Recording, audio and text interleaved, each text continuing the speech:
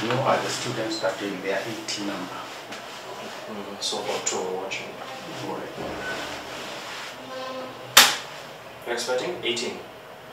8, 10, No, I'm asking how many are we expecting? 8. 8.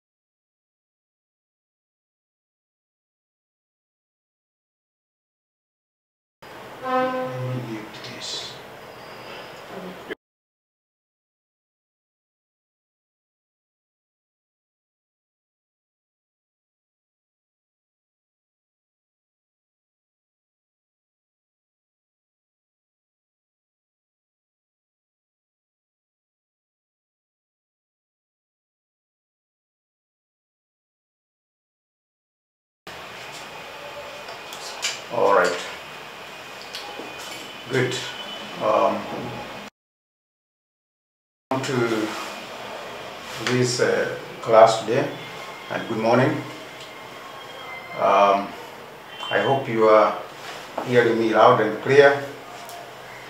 Um, I want you to, from the onset, uh, you subscribe to this YouTube channel and also so that any other time I start a lecture, you'll be prompted uh, to join.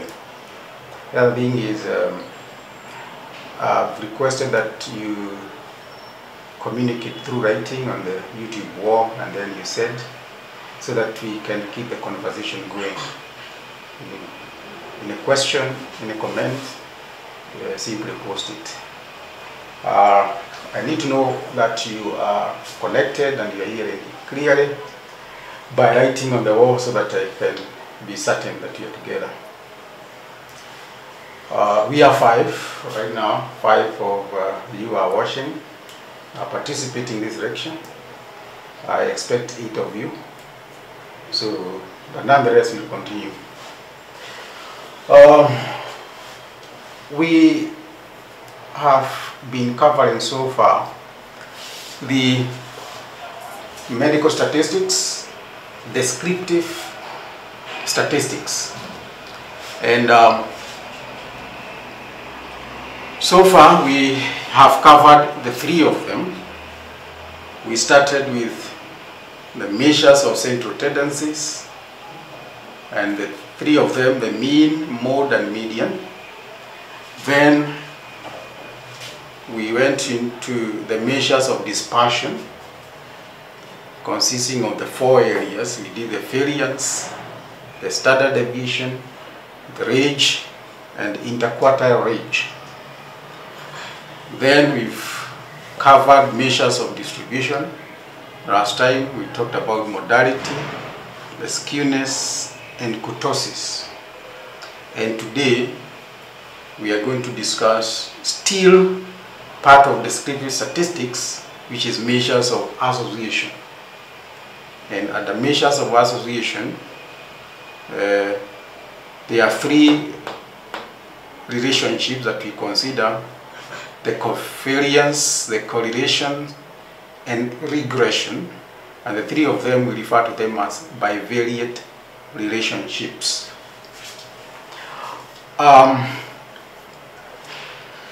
you'll also agree that the first three you are dealing with only one set of data, one set of data, and trying to describe that one set of data in terms of how the data in the data set is has that tendency to come together towards the mean right? That is the tendency to come to the center. And again we also discussed the tendency of data in a data set to spread and that is dispersion, to spread away from the center, from the mean. And then the measures of distribution was to do with, uh, in terms of the, the mode, the most commonly repeated data in a data set. Then we talked about the skewness. You remember the skewness is you might find a data within a data set, but then it has tails, tailing toward one side can be the left tail or the right tailed. Uh, and then, of course, we talked about kurtosis, the peakedness of the data, the peakedness, and it has correlation with what we refer to as uh, probability density function, PDF. So far, so good. Now, when we come to measures of, of association, we now start dealing with two sets of data two sets of data and that's the reason we refer to it as bivariate relationship. Bi meaning two, variate is how they vary. Two sets of data, they are varying in a manner that they have got a relationship. That is to say, for example,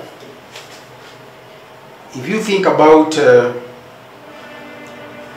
the students, like you are, eight of you, and each one of you is putting a certain number of hours in revising for an exam, preparing for an exam, vis-a-vis the scores that you get in an exam. So there are two variables, the time you spend in revision, revising an exam, vis-a-vis the scores that you get in that exam. So those two are two data sets that are varying. So the question is, is there a relationship between the time that you spend revising and the scores that you get in an exam? And is that, how can you describe that relationship in terms of covariance, re- correlations, and regression? And when we talk about covariance, covariance in that case, covariance we talk about the direction of the relationship. That is, is it a positive direction, meaning the more the time spent revising is associated with higher scores. That is a positive covariance, positive direction? Or is it that the more time you spend revising for an exam, you end up getting lower marks? Can it be that case? And if that was the case, then that's a negative uh, direction. Or is it that it doesn't matter the time that you spend revising? It doesn't show any relationship with the marks you get, and that is zero direction, no direction. And therefore, covariance is all to do with it gives a sense of direction of the relationship. Now, when you start thinking about the next thing is correlation. If you get to know the direction of the relationship, let's say it is positive, the more time you spend in revising for an exam, the higher scores that you get. The question is, how strong is that relationship? How strong? Is it that the more hours you put, the more uh, scores you get if it's a positive uh, direction relationship? Therefore, when you start thinking about the strength of a relationship, it is correlation. Correlation has got both direction and strength of a relationship. Both direction and strength. Therefore, you cannot talk about correlation without having first talked about covariance of a data. And most of the time you, you, you, you learn that in most literature, this issue of covariance is left out because once you start understanding how to work out correlation, you already have calculated the covariance. So therefore, you find most of the literature take little time discussing covariance, but it's important to get to know how to calculate covariance on its own, and then how to use it to calculate correlation. The other measure of association in a bivariate relationship is regression. Regression is all to do with uh, prediction. Prediction. If you are to get to know that the number of hours you spend revising for an exam vis-a-vis the scores that you get in that exam, is it possible therefore to say if you study for three hours, you will get 60%. If you start for study for four hours, you will get 82%. Is it possible to predict the marks that you get based on the time that you have spent studying? And therefore, when you start talking about prediction of an event that is to come, then you are going into regression analysis. And this is a topic that I will not go through today, but in the next series of lecture talk about regression, both what you call linear regression and multiple regression. So today I'll simply talk about covariance and correlation. Now, another important thing about measures of association, the bivariate relationships, the three of them, we also refer to them as linear linear relationships.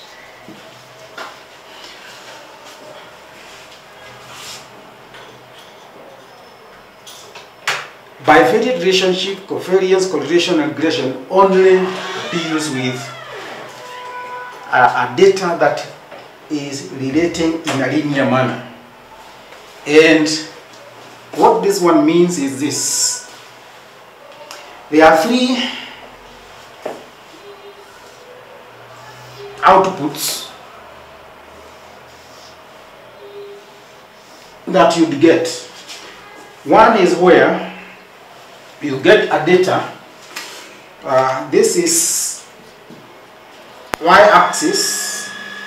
This is x-axis. Y-axis, x-axis, y-x.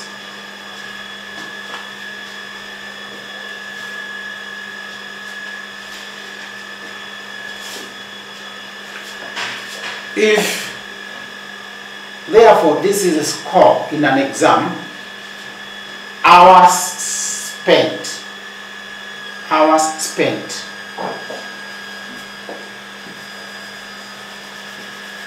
Or time spent. Let me talk about time spent revising and scores in an exam. You may find that the score at the time here, if you less, less marks with less time spent. Another one will go down there, another one will go down there, another student there, another one here, there, there. If you find such kind of a data, you start seeing that the data has a direction. That as the time spent revising increases, also the score is increasing. However, it is not a straight line. If you are to draw, you only draw the line of best fit. And say, probably the cut is across there. And this is a linear relationship, although it's not perfect linear. In life, you don't really get perfect linear relationship, except in some few cases. For example, of a perfect linear relationship is, uh, think about um, the number of uh, uh, people who will buy tickets to go for a movie vis-a-vis the, the total sales or the sales that are there. Therefore means if a ticket is 10 bob and you get 50 people getting to the movie, then it's 50 times 10. If it's 100, it's 100 times 10. So there is a perfect linear relationship in that. But in real life situation, in, uh, especially in medicine, you will not get uh, perfect uh, line. You will get a data like this one. On the other hand, you get uh, a data that will look like this. If you start get a data where as you x increases, y decreases, this is an example of a negative uh, linear relationship. Then you get another data here.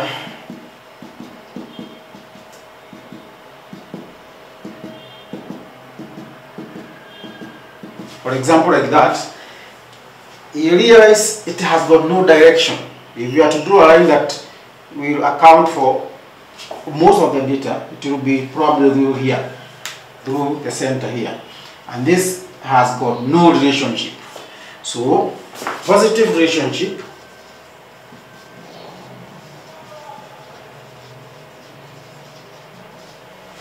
negative relationship and no relationship.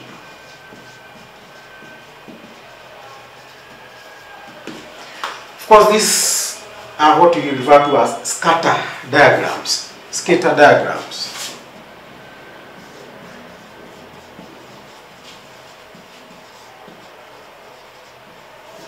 This is how they look like. There are other Okay, up to there, this is what we call linear relationship. As x increases, y will increase. Or as x increases, y decreases. Yes, or there is no relationship. As x increases, y is cannot say that the data is increasing or decreasing. It is scattered, and you can only say there is no relationship. Now, that is as far as linear relationships are concerned. Do we have data that can be a non-linear relationship? Yes, they are there.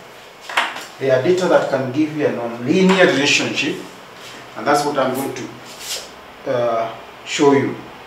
So we have positive linear relationship, negative linear relationship, and no relationship. The three of them are like likelihoods.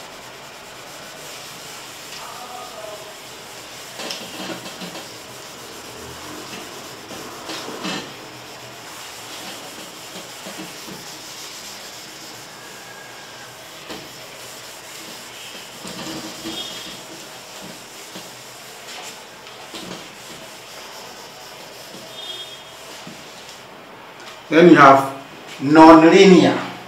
If I have to put here non non-linear relationship. For example,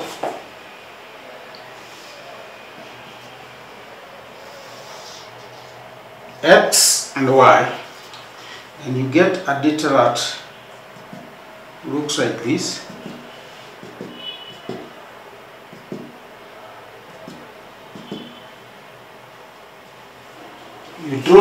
Line of it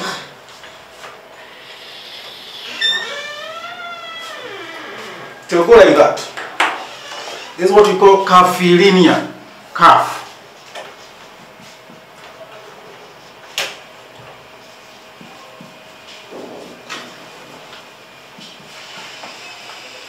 curvilinear relationships. I'll give you an example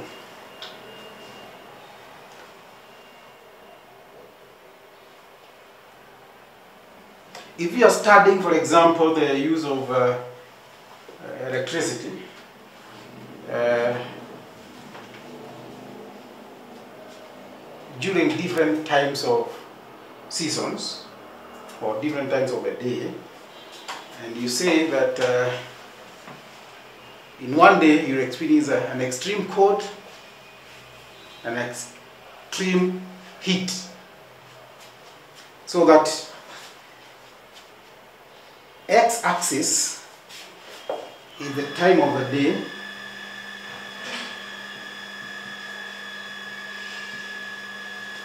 and y-axis is a unit of electricity or the energy that you are going to use.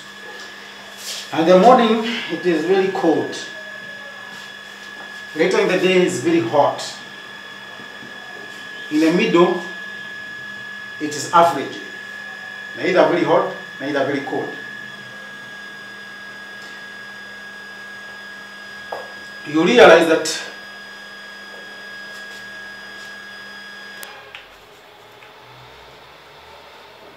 um, let me try to give you some another example. There is some that is medical. Let me not go that route. You get lost. Let me give you a medical, a medical a medical experience. Uh, still with still with revision for an exam. Let me still continue with revising for an exam. Time spent revising anxiety level.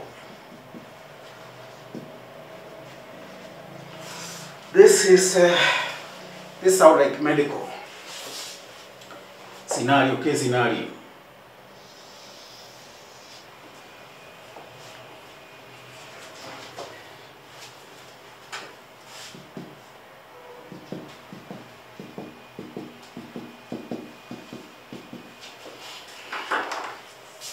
Time spent revising for an exam vis-a-vis the anxiety that a student is going to experience.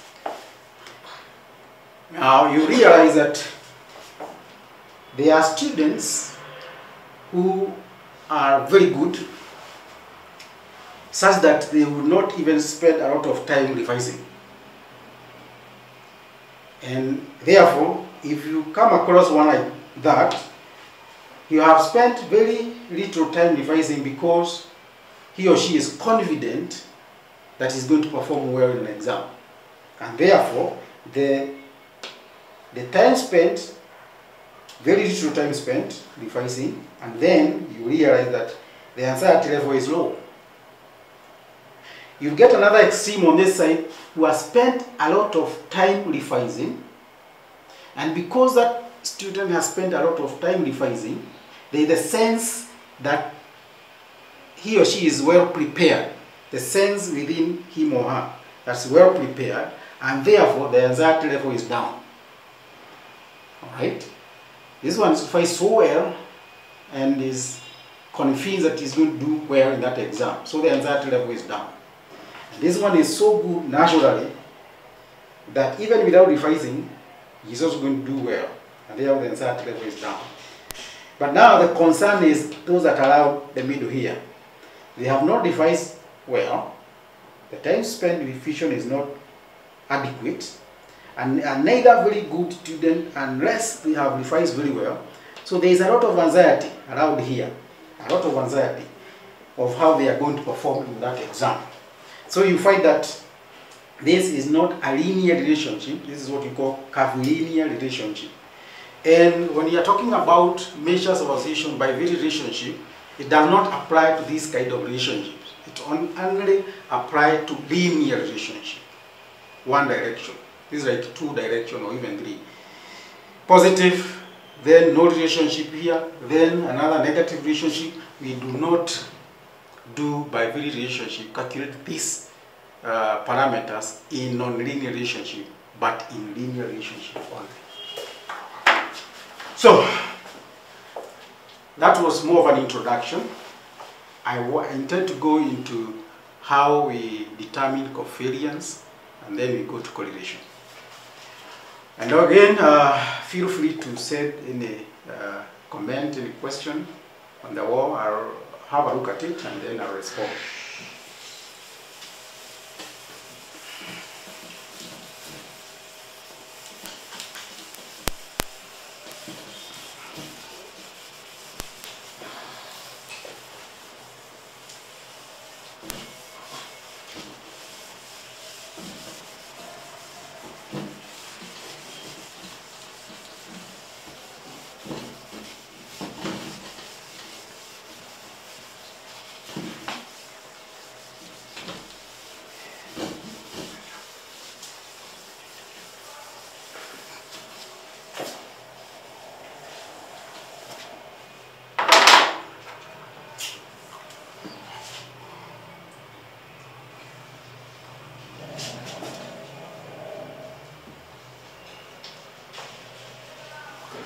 I've indicated that covariance, covariance, the, uh,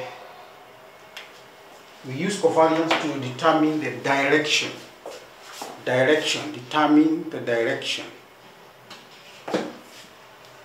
of our relationship.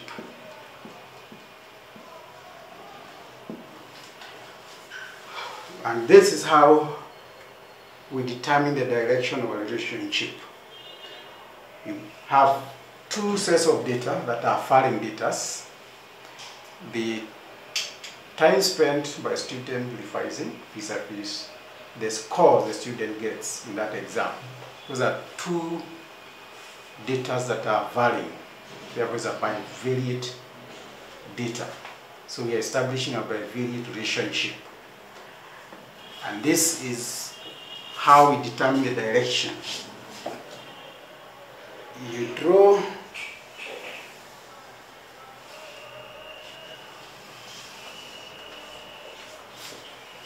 You draw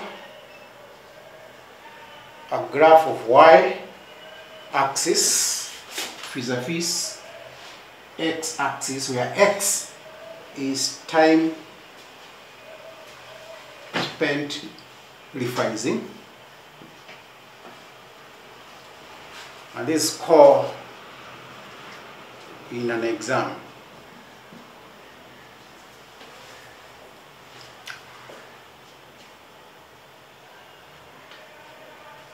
Then I want you to think about the marks here. Let's say from like 40% all the way to 80%.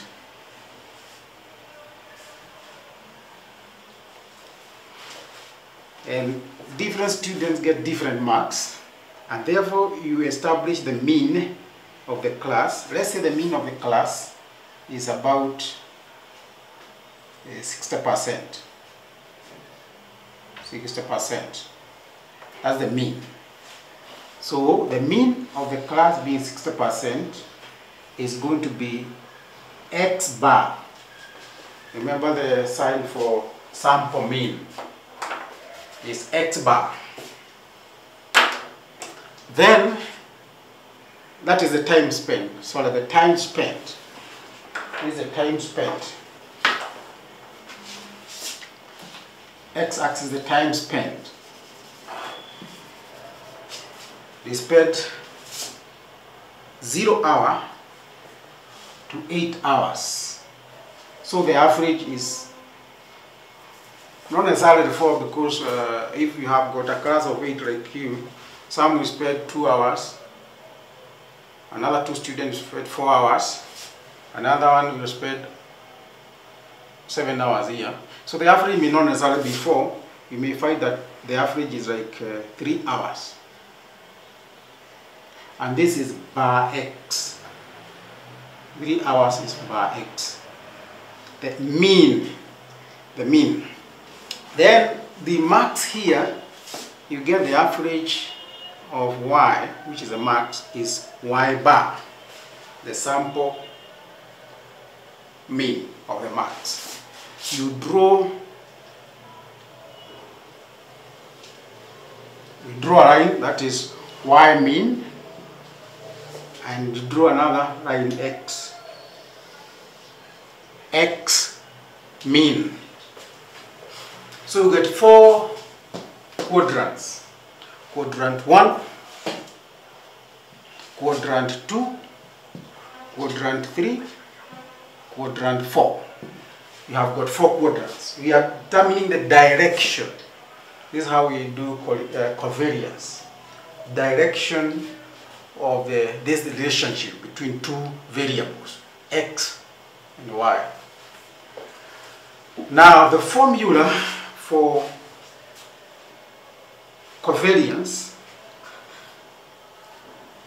the formula for covariance, if we write as cov into bracket x, y, covariance is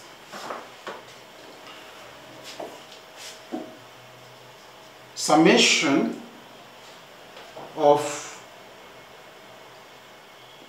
x minus x bar multiplied by y minus minus y bar. y bar you divide by n minus 1. If you remember what we've been what we've done before, if you remember what we did in, uh, in uh, one set of data, when you are calculating the variance, you start seeing the variance, where a data is varying from the mean of that data set. But in this case, there are two of them. Therefore, we multiply this variation of x and variation of y, divided by n minus 1. That is how we calculate covariance for xy. However, I am interested with the direction, the direction of uh, the data, how they are moving together, covering, how they are moving together in terms of signs. Now, this is a formula. It therefore means for data that is, this is x-axis, this is the mean. For data that is below the mean for x, for x below the mean, it therefore means that x will be smaller than the mean.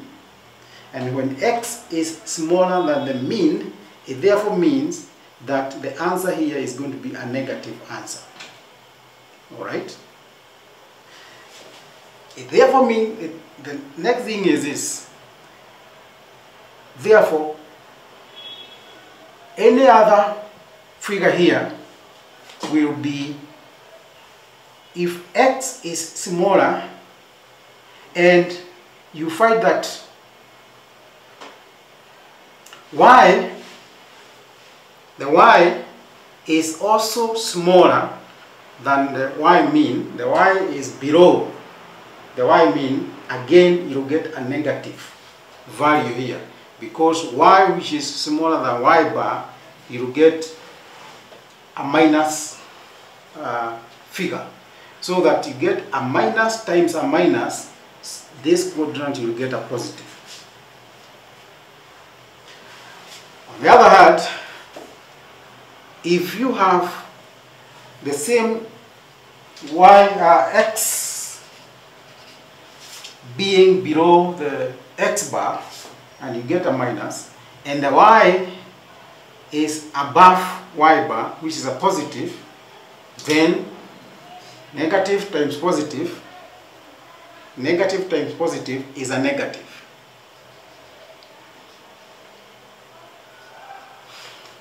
In the same manner if you have in, in, in uh, quadrant 1 it therefore quadrant 1 means that the the x. The x is bigger than the x bar and therefore is a positive value. And the y is a larger number than y bar it's also a positive value. And the result of a positive times a positive is a positive is a positive answer in the same manner you go to the fourth quadrant fourth quadrant, you find that in the fourth quadrant, the x is larger than the x bar, and therefore the answer is a positive answer. However, the y here are lower than the y bar, and therefore if you subtract y bar from a y that is lower than y bar, the answer is a negative. So positive times negative is a negative answer in all this. And therefore the direction of covariance will be like this. If you find therefore a line that is cutting between a positive or positive, like that, then you realize that it's going to be a positive direction. And if you find a line that is moving from a negative to a negative, then it's going to be a negative direction.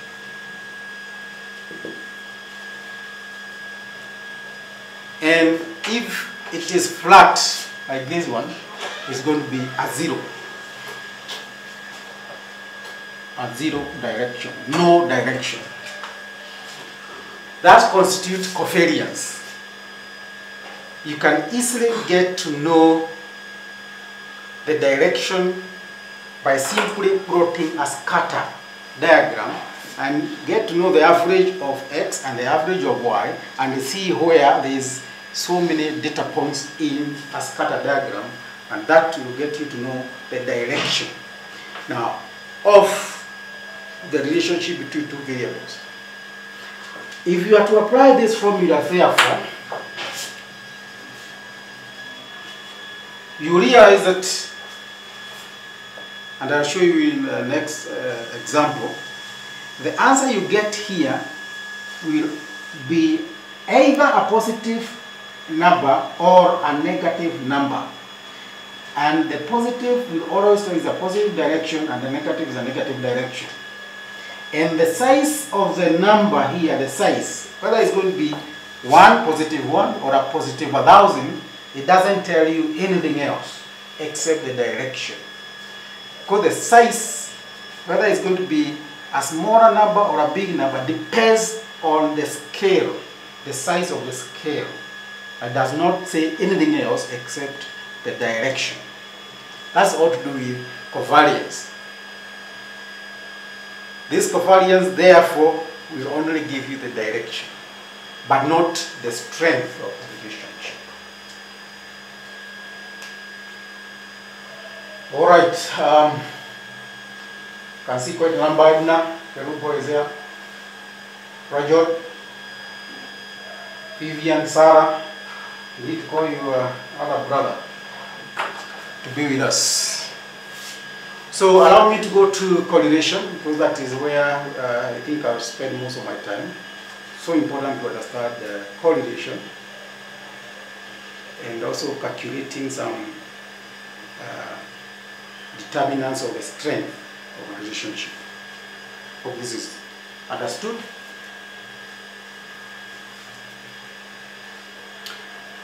I need to erase it.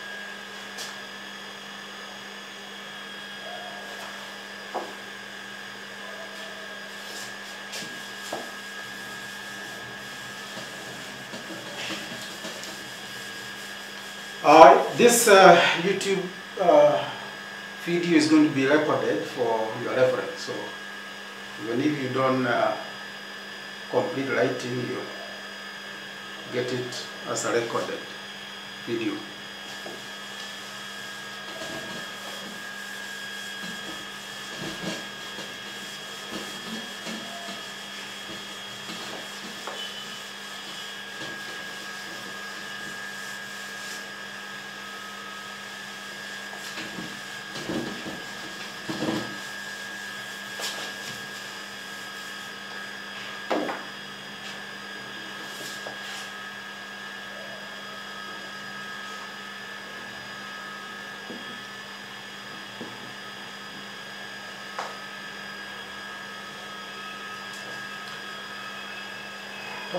Correlation.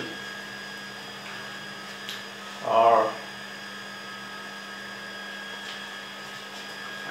I've said that coordination uh, when you do coordination we want to establish both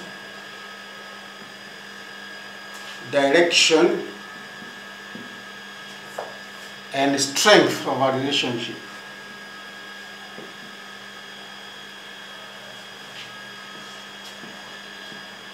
This relationship, remember I said, of a linear relationship. Of a linear relationship.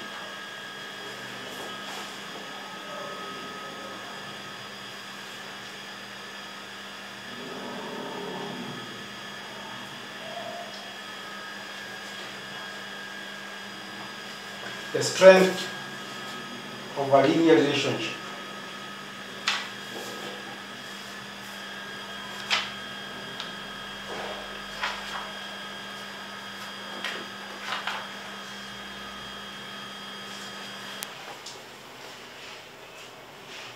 For me to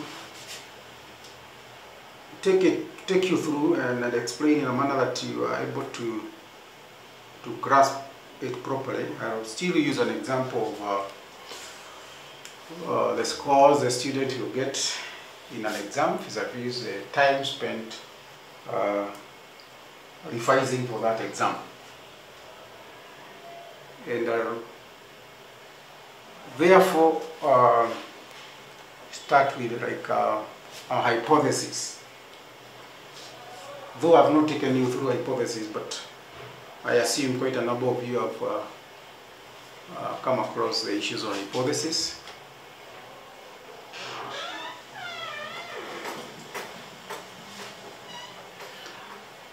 Allow me to do a narrow hypo hypothesis.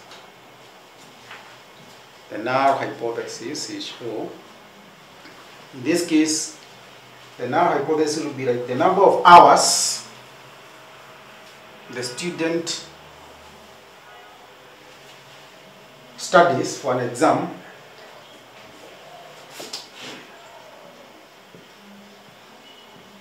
the number of hours the student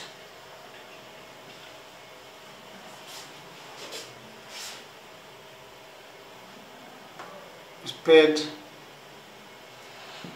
revising for the final exam.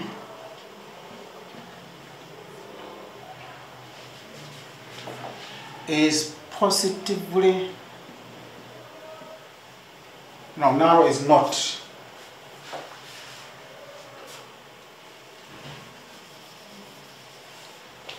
Is not positively correlated with the score in the exam. That's the null hypothesis, hypothesis of no effect. Hypothesis of no effect, null hypothesis, issue, is that the number of hours the student spent revising for the final exam is not positively correlated with the score in the exam. And therefore means the alternate hypothesis would be the opposite of this one. The alternate hypothesis would be that the number of hours the student spent devising for the exam is positively correlated with the score in the exam. That's the alternate.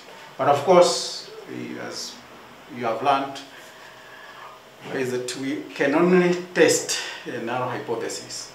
So I want to use this statement to take you through correlation and interpreting the resource of the data that you get plus giving it a meaning giving it a meaning. And the other question would be is it would there be a possibility then that if you are to know the number that one has spent devising for that exam we can predict the marks or the score? And that is now part of regression I'll touch on it slightly, but I'll take time using this example to demonstrate both direction and strength, and more so the strength and how to calculate the strength of that relationship. All right. I want to give a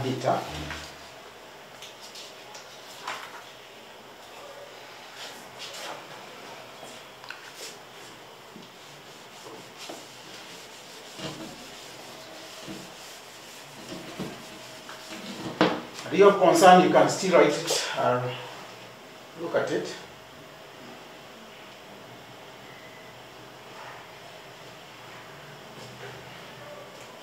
You can now say continue or continue, right?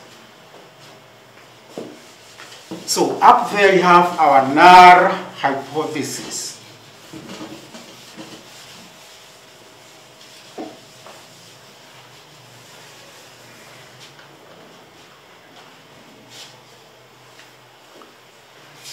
I'll put student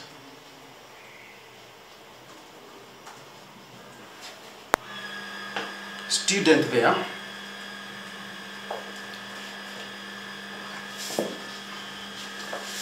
Let me save, save up here.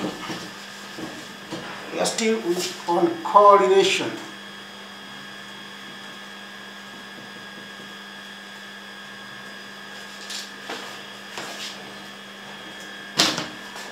still on correlation uh, we have student.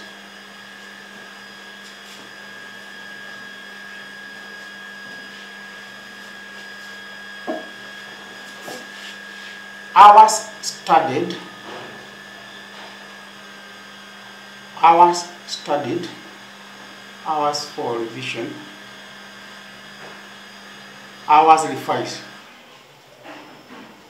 or time spent revising in terms of hours that would be better time spent revising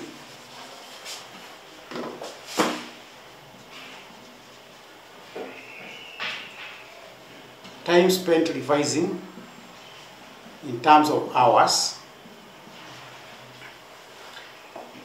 The score. The score in an exam.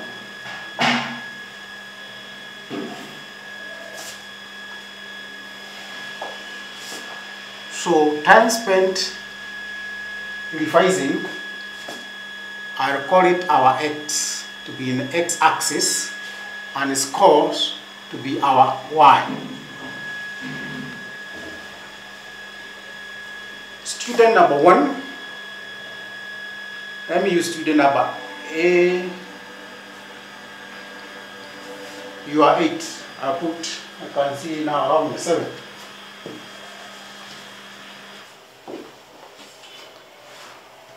Student R, P, uh, Y, let me spread properly. This is who? Vivian. Hmm? Rajat. Uh, who is it? Who is there? Edna. Sarah. One, two, three, four. Diani. One, two, three, four, five. Yvonne. One, two, three, four, five, six. And Ruth. And don't take it personal if you get uh, fewer marks. It's just for demonstration purposes. For demonstration purposes.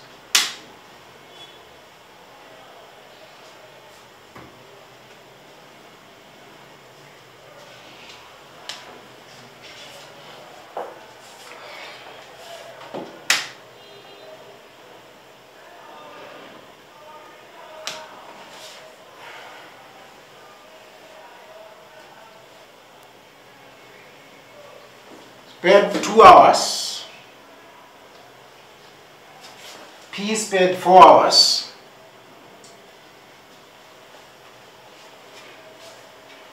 Spent five hours. Seven, three, one hour, six hours. Time spent, these are terms of hours. Then, when the scores are out, guess 58. The other one get 32, God forbid. 63, 87 is percent. 67 percent. 45 percent and 68%. And 68%. The question is, forget about even the name for the, the student. The question is this, can you confidently say that there is a relationship between the time spent revising for the exam vis-a-vis the score, the marks that each one of the student get. And is it a positive direction? Is it a negative? Positive meaning the more hours that you spend, the more marks that you get. Or negative direction, the more hours you spend, the lesser marks you get. And what is the strength of that relationship? When you start talking about the strength, calculating the strength of the relationship, that's correlation. And I will show you how you calculate that strength of a relationship. The next thing will be our touch on regression, where can you therefore predict the mark the student will get by just looking at the hours spent revising. Now, the formula is like this. Uh, if you can remember the formula for covariance,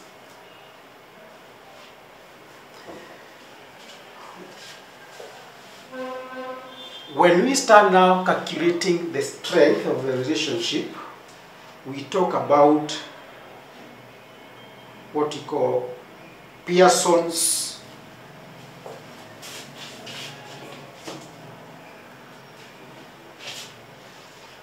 Pearson's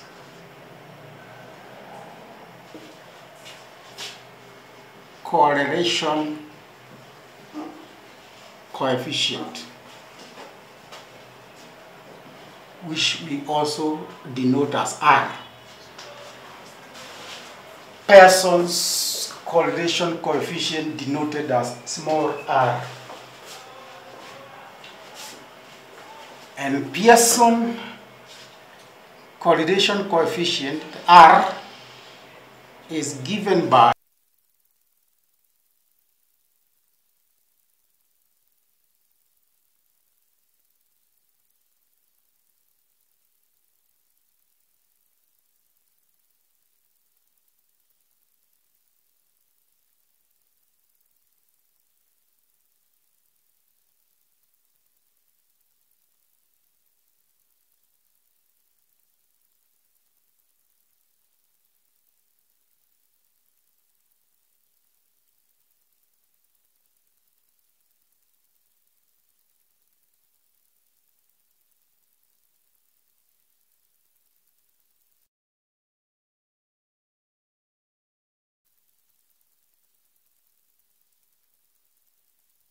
square root of summation of x minus x bar squared multiplied by summation of x minus uh, y sorry this y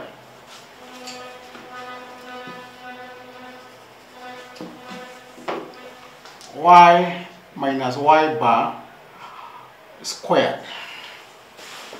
If you can remember, this look like variation in a single set of data and this is standard deviation in a single uh, set of data. Therefore, when you are doing Pearson correlation coefficient, it's basically variation divided by standard deviation. Variation of x and y is covariance. Covariance divided by standard deviation of each one of them. Basically, that's how it is.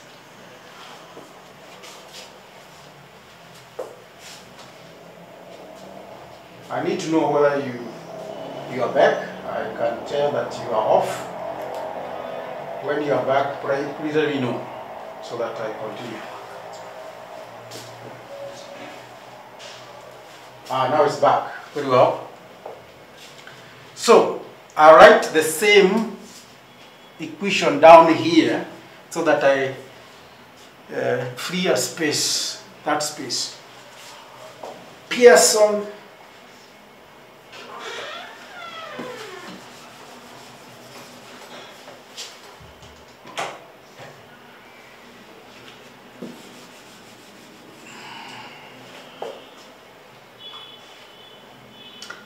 uh, I want to push everything up so that allow me to, to squeeze it so that I have a space. I had I had V, I've forgotten, but don't worry. Your VP V P E E S S Y. Y Ah, sorry. After after S is. M. then Y, then P. One, two, three, four, five, six, seven. Very well. I want to squeeze 432, 563,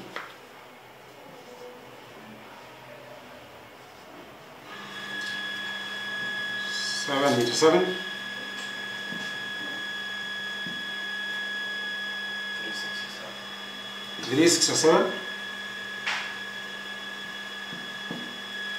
Five. Six sixty eight. So that I free space down here. Now, um, so that I do Pearson. For Pearson correlation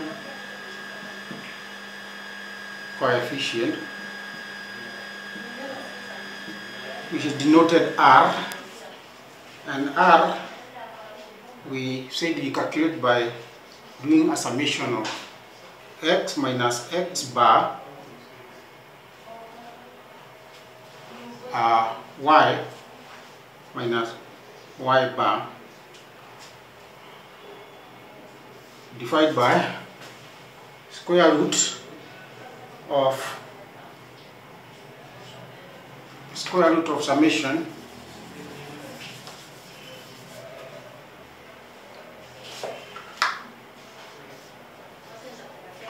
of x minus x bar squared multiplied by summation of y minus y bar squared.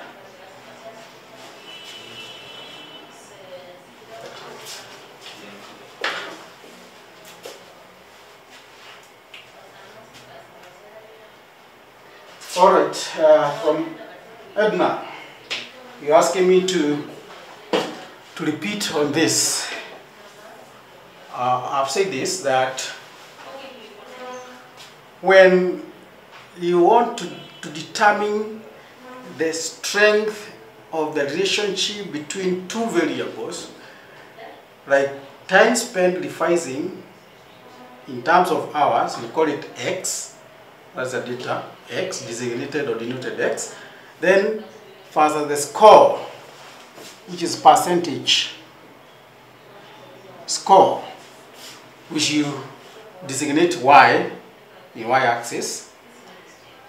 Then you want to establish is there is there a relationship and if there is what is the strength of this relationship in that case we apply what we call Pearson's correlation coefficient Pearson's correlation coefficient you'll find other uh, measures of the strength like Spearman's rank order correlation. However, the one that is mostly used in uh, science is Pearson's correlation coefficient and that's what I'm going to deal with for now as I demonstrate how we determine the strength of that relationship and how to interpret that strength. Therefore, this is already established by this gentleman who uh, came up with this line of thinking. It's called Mr. Pearson, and therefore he named it after his own name. Pearson co correlation coefficient, R. And you determine R by doing a summation of x minus x bar, where x bar is the mean, multiplied by y minus y bar, the summation of that, I'm going to take you through, divided by the square root of x minus x bar squared, y minus y bar squared. And I said, if you look at this, it's like we are determining the variance. And when you look at this, it's standard deviation. And when you have the two x and y, it's the covariance of x and y divided by the standard deviation of x multiplied by the standard deviation of y. And that is the reason why in some, in some literatures you will find r written as covariance of x and y divided by standard deviation of x multiplied by standard deviation of y. So don't get lost when you see this. It just simply means it's the same as this. This is a covariance of xy divided by standard deviation of x multiplied by standard deviation of y. I know you're asking where is n minus 1? Remember here there was n minus 1 and here is n minus 1. So n minus 1 cancels n minus 1 and you remain with this. So when you see this formula, it's the same as this. And for you to calculate this, it's easier to explain it using this one because you have x and y's. All right.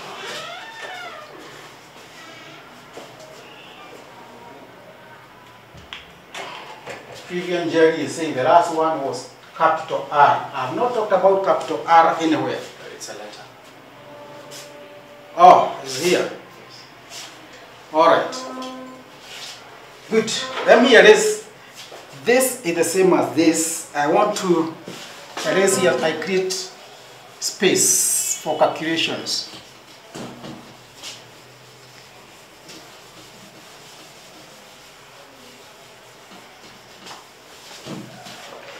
As we go along, I will be reading your, your post. Uh, I think Edina, you had asked about, uh, I repeat how to derive Pearson correlation coefficient. You had gone off. I've done that. Yes, you are back. Sarah Kate, Vivian. The last one was R. I have sorted it out. We can continue. I have like uh, uh, 40 more minutes. I'll have, I'll have finished in good time. Don't worry. Therefore, what we do is number one, we calculate the mean, the mean, which is x bar. How do we calculate x bar? We add 2 plus 4 plus 6 uh, plus 5 plus 7 plus 3 plus 1 plus 6. When you calculate that, when you divide by the number, how many? 1, 2, 3, 4, 5, 6, 7. So 2 plus 4 is 6, 11, 18, 21, 22, 28. 28 divided by 7, the answer is 4, isn't it? So x bar is equal to 4 because n here is 7 and n here is 7.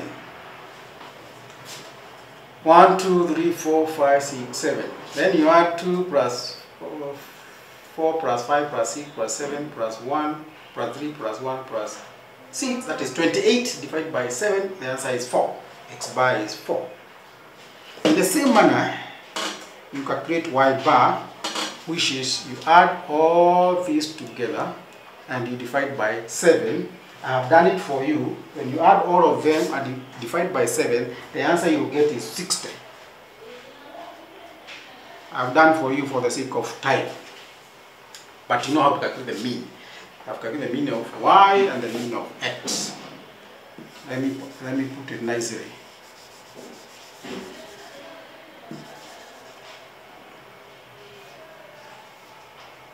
X bar is equal to 4 y bar is equal to 60. Good. We are moving on well. The next will be x to do x minus x bar, y minus y bar. When you say x minus x bar, you come 2 for x divided by uh, 2 minus 4. It is x minus x bar. 2 minus 4 is minus 2. 4 minus 4 is 0. 5 minus 4 is 1. And we move on like that.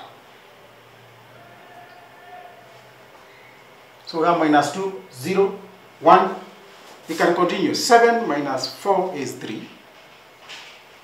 3 minus 4 is minus 1. 1 minus 4 is minus 3.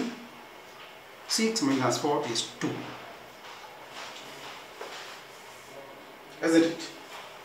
So we have 2 minus 3 minus 1, 3, 1, 0, minus 2. That's correct.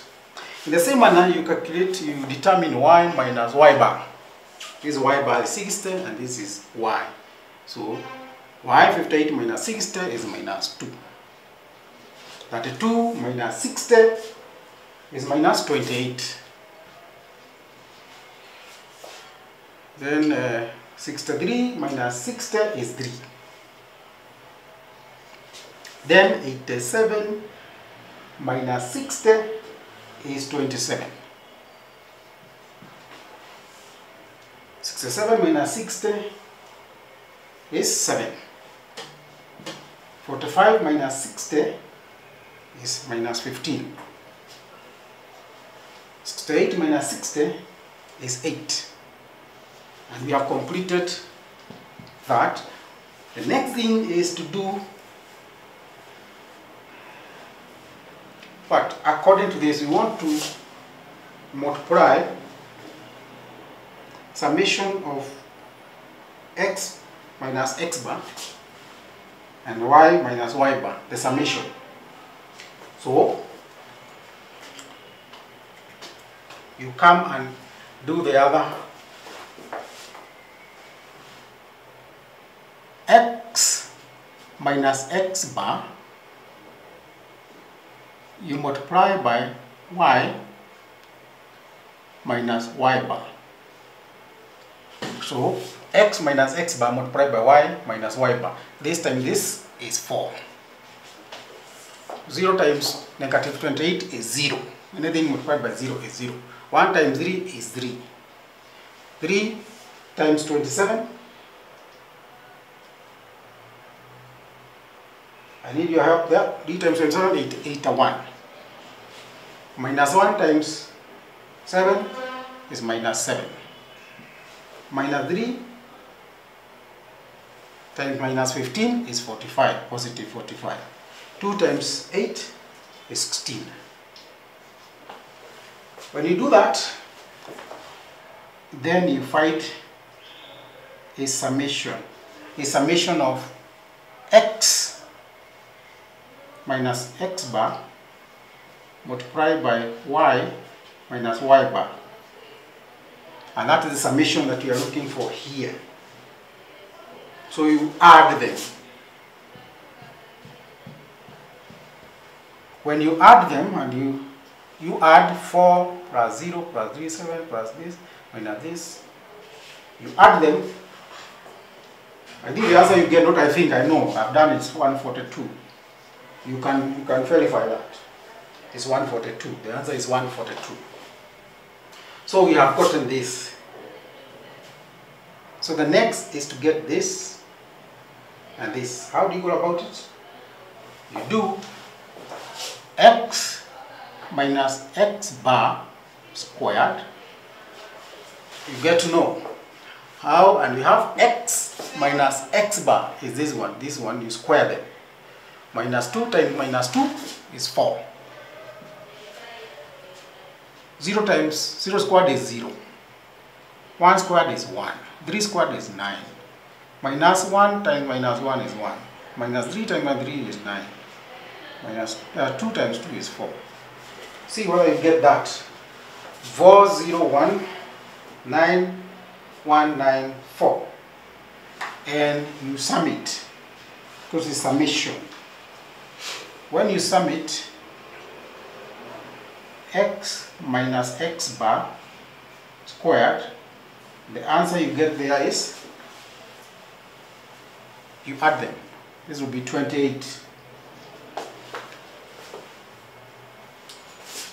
You do the same for y. y minus y bar squared. So y minus y bar is this, y minus y bar, you square this line. So minus 2 times minus 2 is positive 4. Minus 28 times minus 28 is 784. Minus 3 times minus 3 is 9. 27 times 27 is 729. I had done calculation before. 7 times 7 is 49. Minus 15 times minus 15 is 225. 8 times 8 is 64. Then you do summation of y minus y bar squared and the answer is going to be 1864. If you sum all this, is 1864. Any queries is over. I want to know that we are together, so up to there. How we have derived all this. And I um, also want to say this that most of the time as uh, science researchers, medical researchers, you'll probably be using uh, software like GraphPad, all right? GraphPad Prism.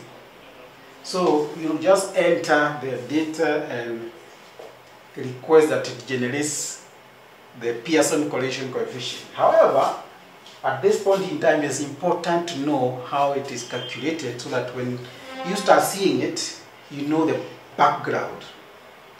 And also now how to interpret the R when we get it, right? So the reason we are going through all this pain of deriving the R, because it's a standard way. All right. Are you together? We are together. Vivian, you are saying we are together. Ruth, you are following. I want to hear the others.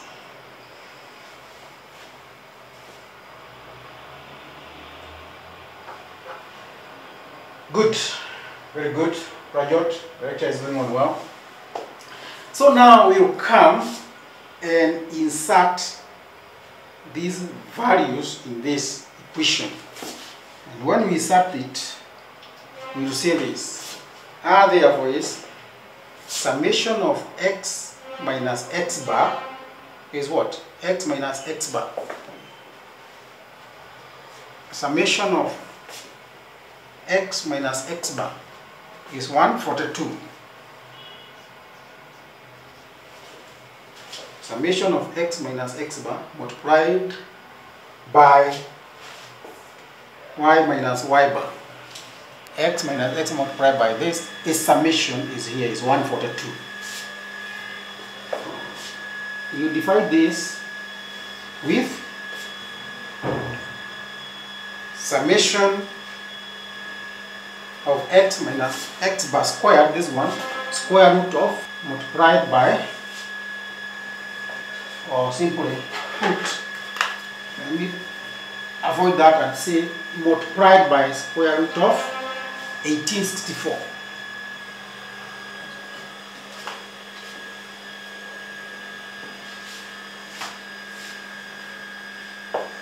We work it out to be 142. If you work this out, so you go to go to 22.46. And therefore the, our R is equal to what? Our R is equal to 0.62. Good. We have gotten our we have gotten our R Pearson correlation coefficient.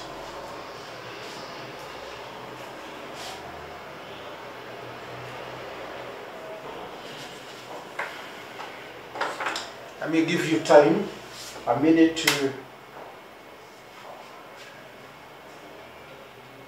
to have a have a look at that.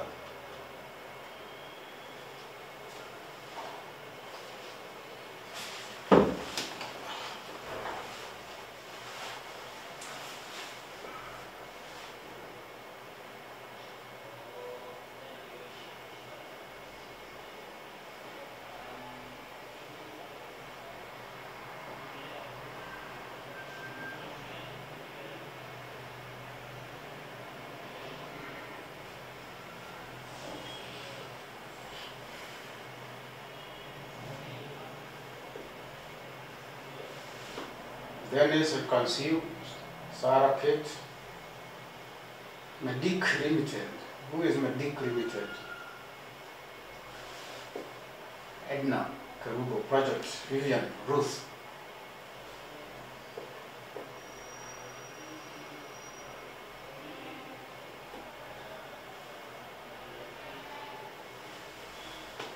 Are we together up there?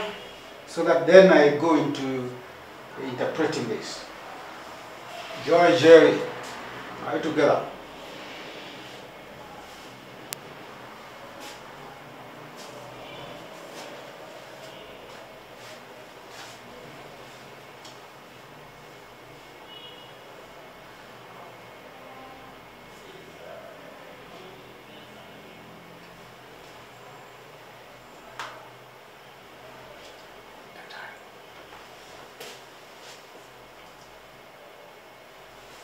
Dick, check your calculation. I also confirm 142.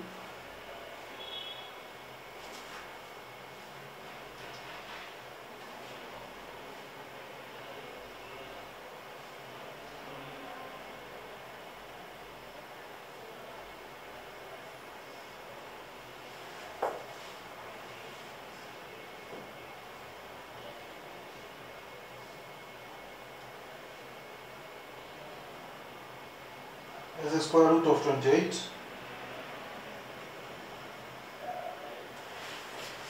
Five point two nine. Hmm?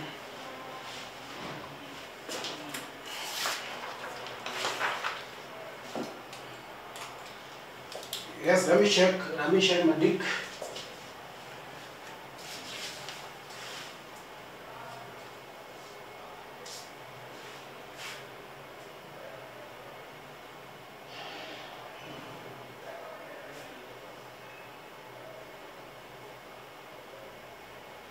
Square root of 28 is Five 5 point point. two nine. Square root of 1864. Forty-three point one seven. 43.17. Multiply these two together. 5.29 uh,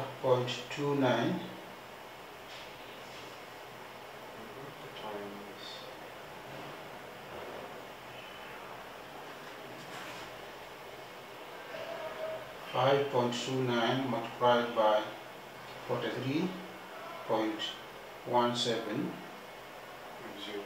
228.36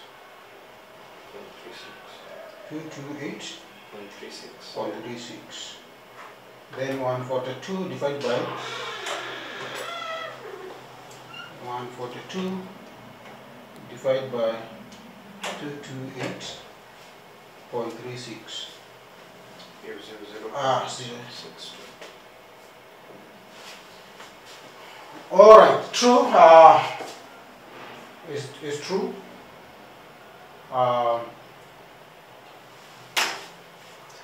zero point six two one five. Uh, the mistake was here. The square root, the square root of twenty-eight is actually 5.29. The square root of 1864 is 43.17. So 20 5.29 multiplied by 43.17, the answer is not 22. Sorry for that. The answer here is what? Uh, is 228.36. All right. Then you divide 142 by this. The answer is 0.62156. All right. To two decimal places, therefore, is 0.62. I hope Medic limit, Medic limited. We are together.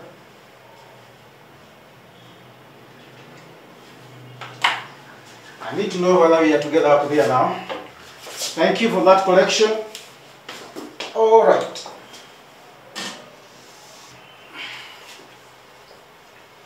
See, Dennis 0.62156. That is about Dennis. Joy Jane 0.62, correct? Right? Okay, Medic IQ is Yvonne. Yvonne, you are together?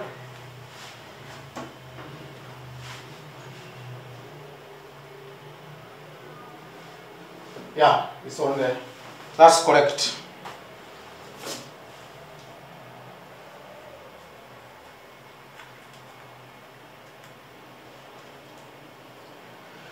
So we proceed. Are we together? Are you, is it okay? We move on.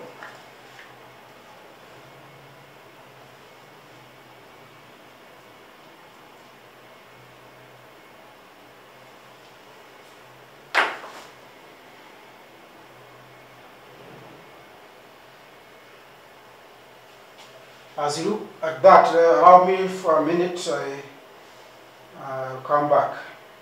One minute.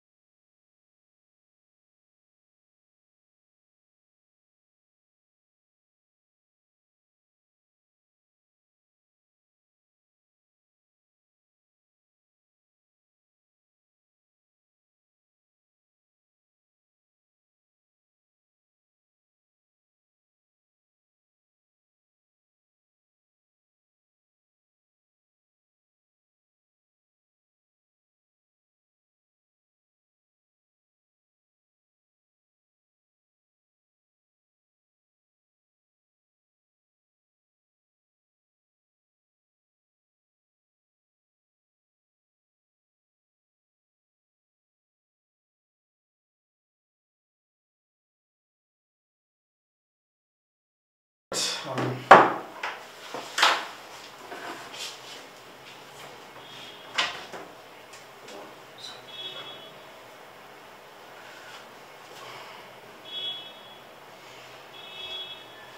presentation is frozen on my head. Let me check.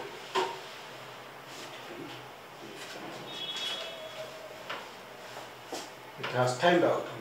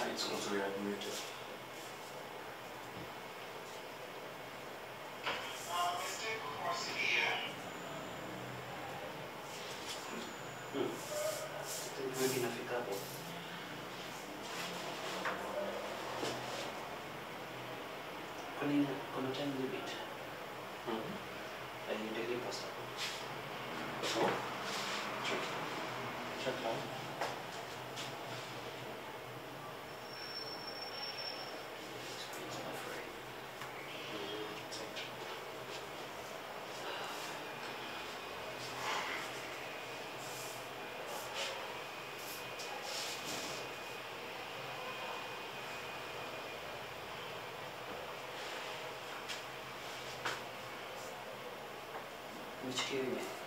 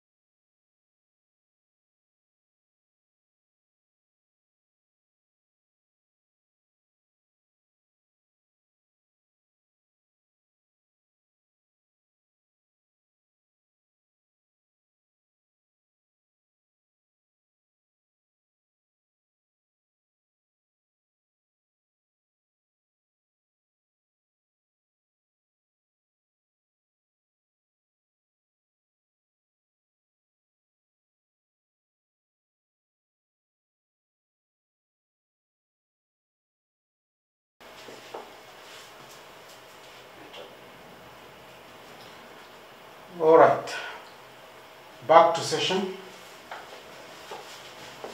Please text when it restarts. Same, well, just wait, we'll just wait enjoy. Successfully connected.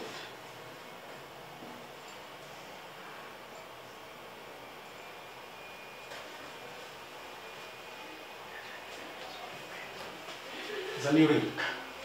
No, no, no. Ah, So it's- it continues.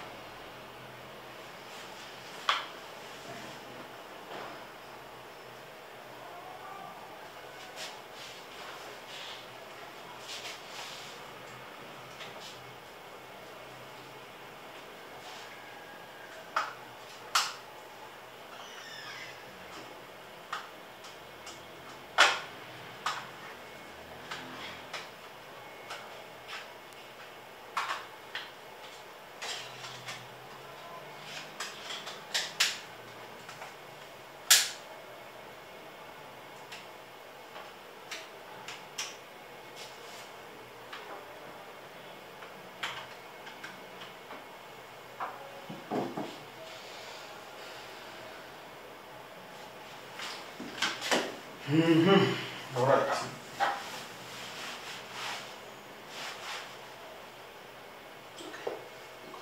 All right. Um, I'm told we are back uh, to session. Uh, let me know when uh, when you are okay on your side.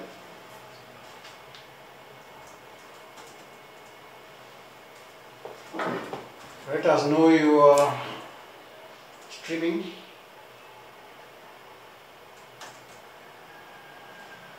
Kate, yes, you saying I can hear you. Who else can hear me?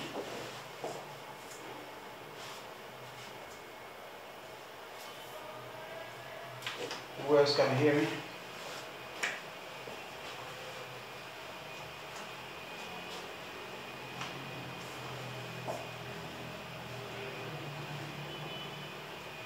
Kerubo is still frozen.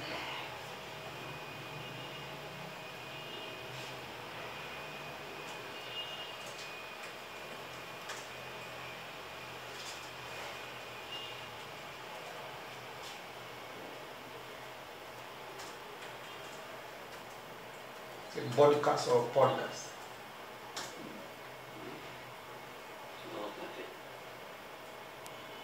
Ah, Sarah Kate, you're saying it's good on your side.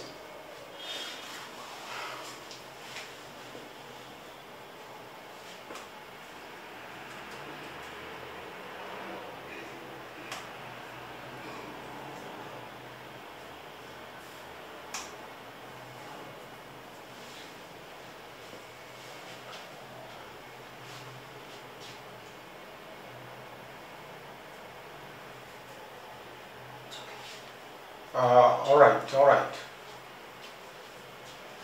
Kerubo, I need you to join us.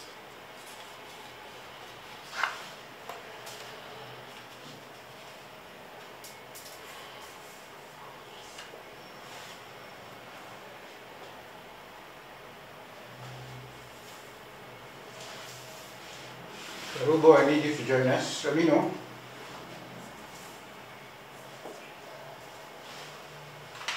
All right.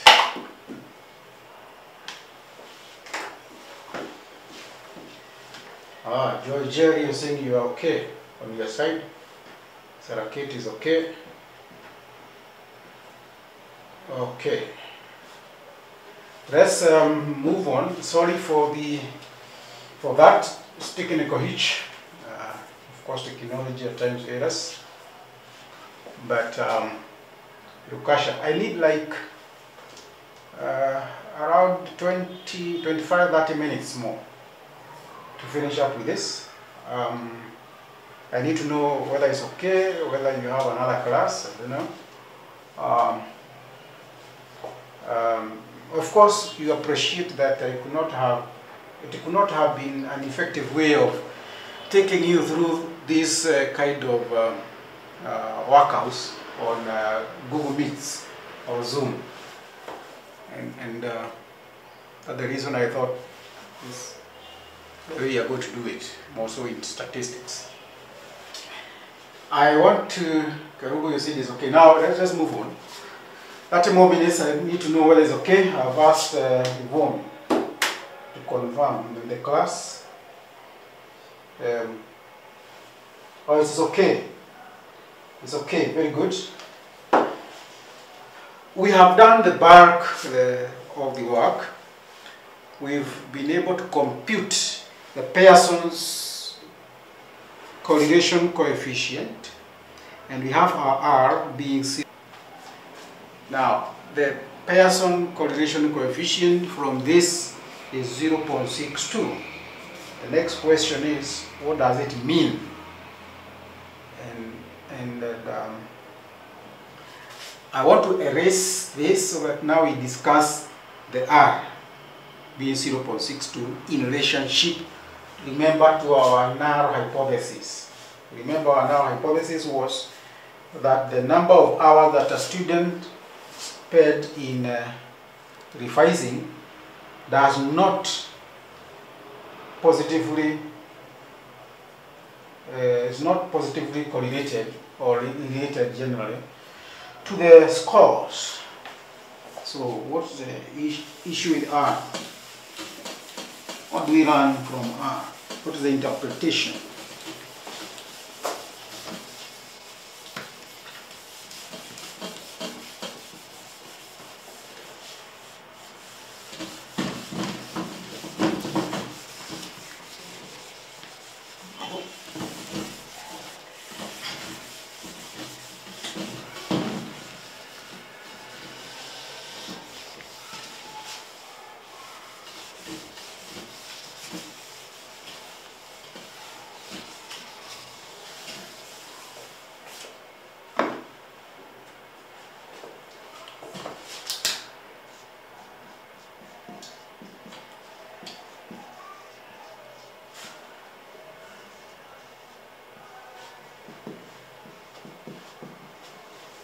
Facts about correlation.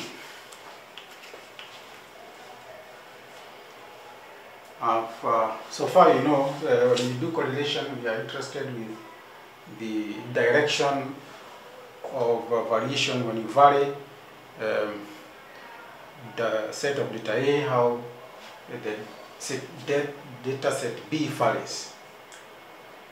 When you vary X axis data, how does y axis data vary. Uh, and the strength of relationship is determined by R, the Pearson's coefficient, uh, correlation coefficient. Now, it is of interest, number one, to know that the Pearson's coefficient correlation coefficient.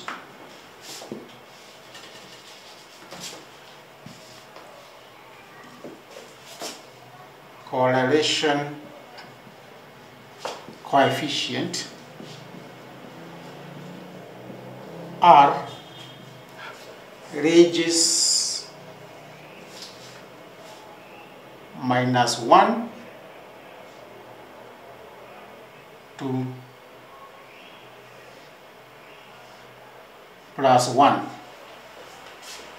all the time all the time the correlation coefficient that r will range from minus 1 to plus 1 of course with 0 at the center. If you get an r of 0 it therefore mean that there is no relationship between set of data a variable a and variable b x and y. There is no correlation at 0 if r was to be 0 if r is positive 1 it means there is a strong correlation positive correlation strong positive correlation. When r is negative 1 there is a strong negative correlation. A strong negative correlation a strong positive correlation and here there is no relationship. That's what it means. Now our r is 0.6 positive 0.62 that's our r. What does it mean? There is a moderately a moderate relationship or let me simply say there is a strong relationship because anything that is below 0.5 is is weak relationship to 0. Point, uh, sorry, not 0 0.5, 0. Point, 0 0.1. 0 0.5 is moderate and moving this way is strong. Weak relationship, moderate relationship, strong relationship. So in our case, it's a strong relationship between the number of hours spent revising vis-a-vis the scores. If you are to calculate an R and you find it is more than minus 1, this is minus 1 point something, 1.1, 1.2 is a negative 2, or if you find it is more than positive 1 is 1.1 or it is 2 or 3, then there is a problem in your calculation because R always will be between minus 1 and plus 1. Plus is a positive direction, positive correlation. Minus is a negative correlation, negative direction. So that, thing, that is understood. I hope that's understood. Now, another important thing is this. Therefore,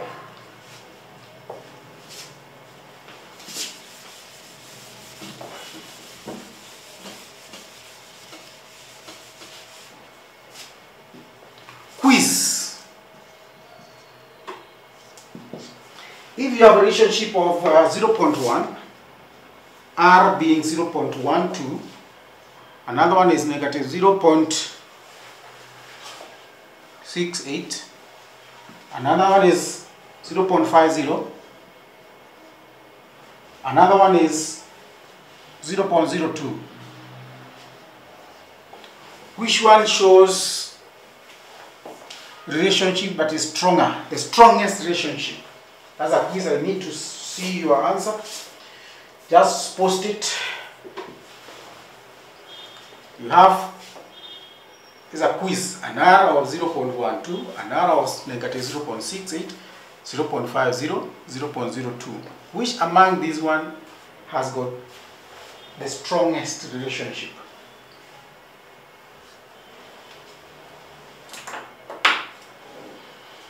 I need your answers. Post it there.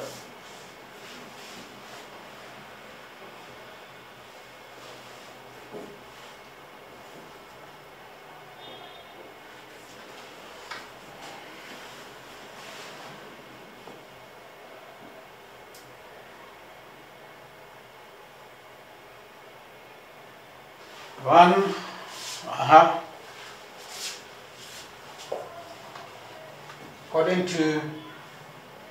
Is 0.68, negative 0.66. Uh, Dennis is uh, 0.50. The others,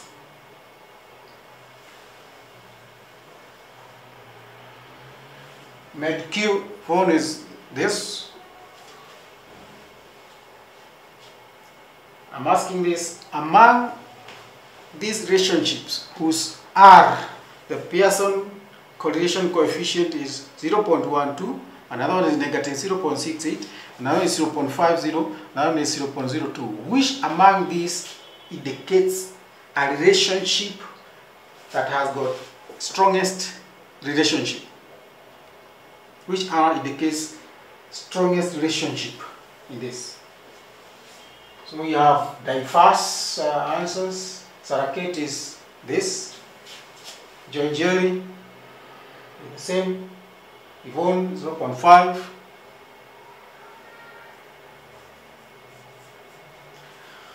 Dennis 0.5.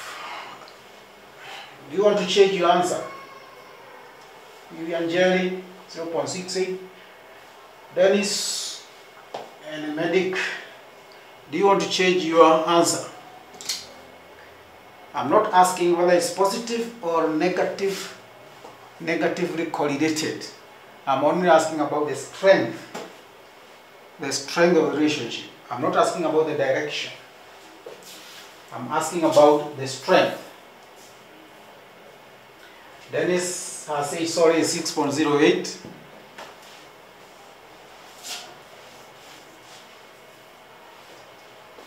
Madik.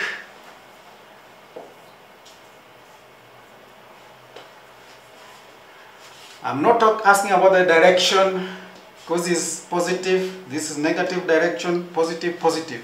I'm asking about the strength. The, the, as the R tends towards positive 1, positive 1 would be the, a perfect, perfect positive correlation. Negative 1 would be perfect negative correlation. So the strength from 0 towards positive 1 or from 0 towards negative 1. So the higher the absolute value, the higher the relationship. I can tell now all of us here, all of you, we have the same plane. The higher the value towards positive 1, the better, the stronger the relationship. Positive 1 is this perfect relationship, positively correlated.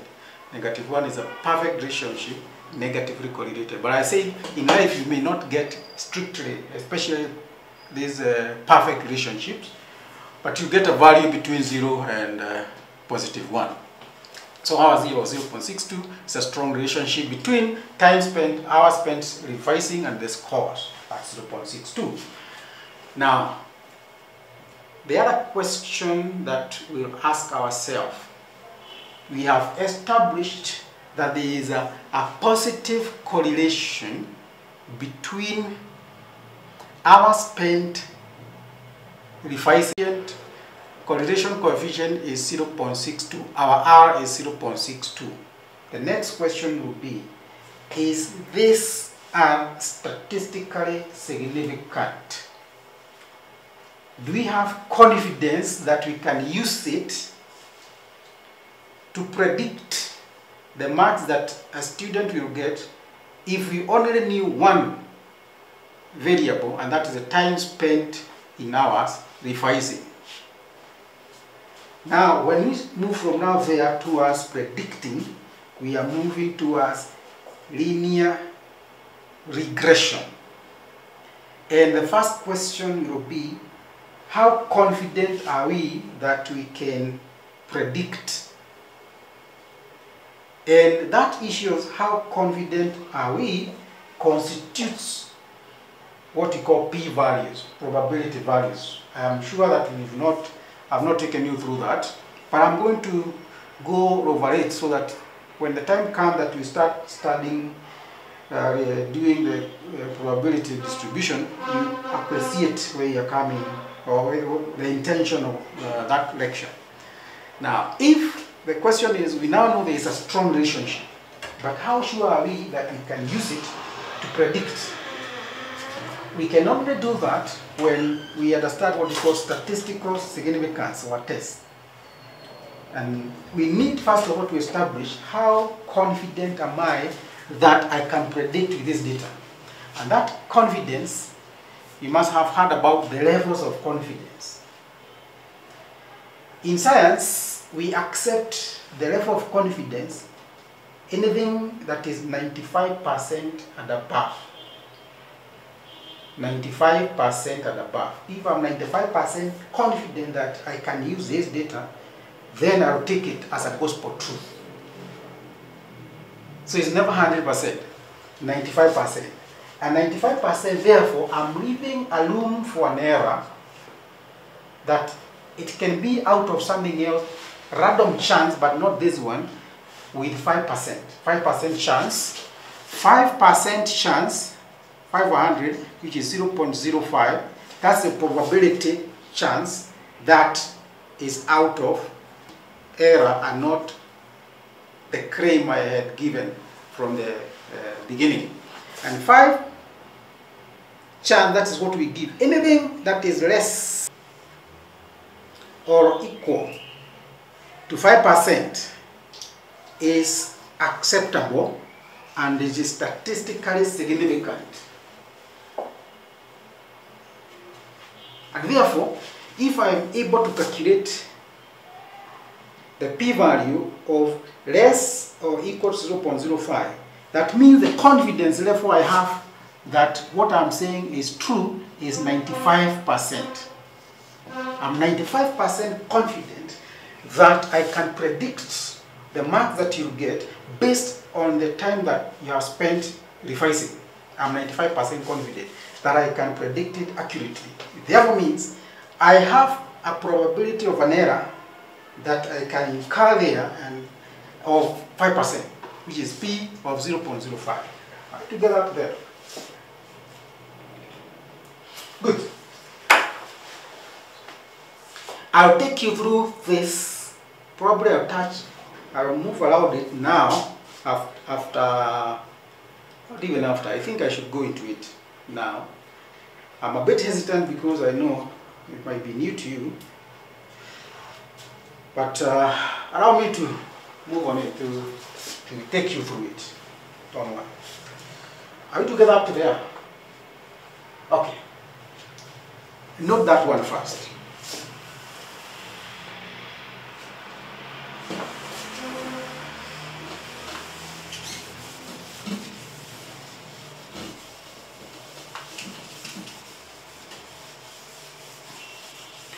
Remember our, let me have you back. Remember our null hypothesis.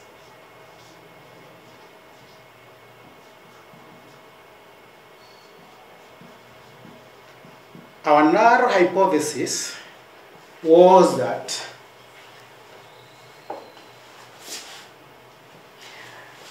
the number of hours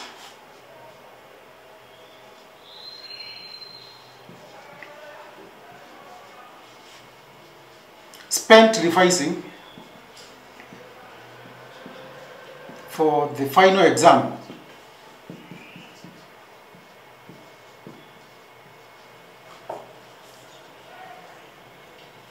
is not positively related to the scores in that exam. That was our null hypothesis, which is zero. The hypothesis of no effect. And when we are testing the hypothesis, we test the hypothesis that is null hypothesis. And if at the end of it we can only reject null hypothesis or we accept null hypothesis. We are going to either reject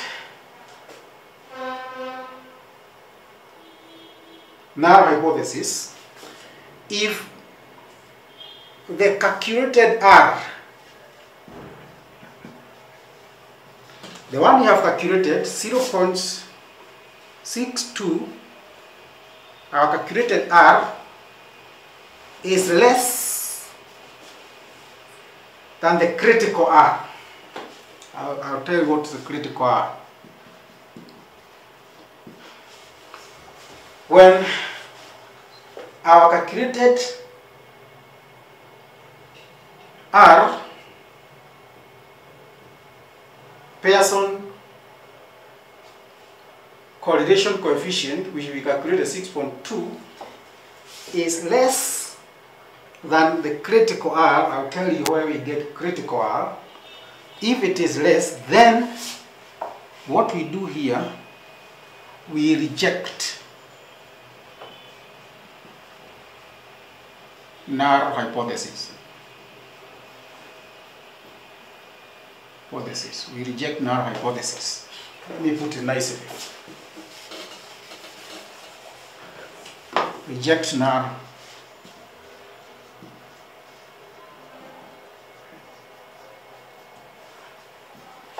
therefore mean therefore that if calculated R which is 0.62 is greater or equal here is only less if it's less here is greater or equal because at the point of critical must be taken as this one. Is critical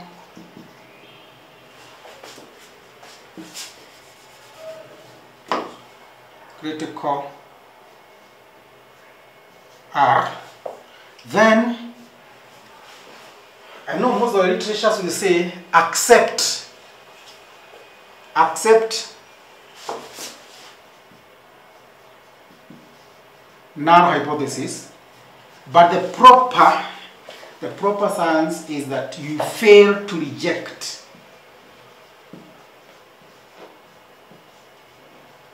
you fail to reject null hypothesis. When you say you fail to reject null hypothesis, in essence you are trying to say accept null hypothesis. However, in science, we do not accept null hypothesis. We fail to reject null hypothesis. I'll explain that in depth, what it means, but for now, just know uh, when to reject null hypothesis and when to fail to reject or when to accept null hypothesis. You see, if the null hypothesis was that the number of hours spent revising for the final exam is not correlated, is not positively related to the score. If we reject it, if we reject it, then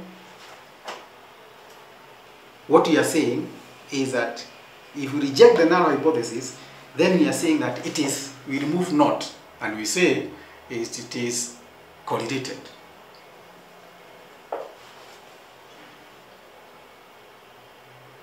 When we reject the null hypothesis, then we can only accept the alternate. And the alternate would be, you remove not, and it will say the number of hours spent revising for the final exam is positively related to the score in exam. The question is, where do we get our critical R? Where do we get our critical R? Our critical R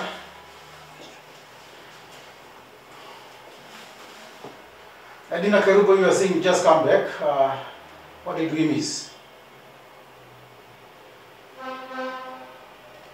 And uh, all right, all right.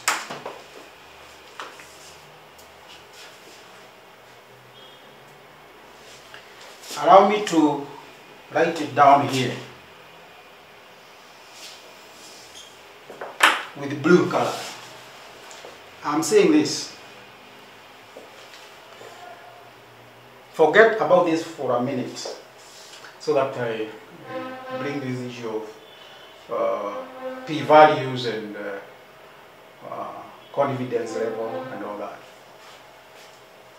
Now I'm saying that we have seen that our R calculated R was 0.62 and the interpretation is this. The correlation coefficient of 0.62 indicates there is a positive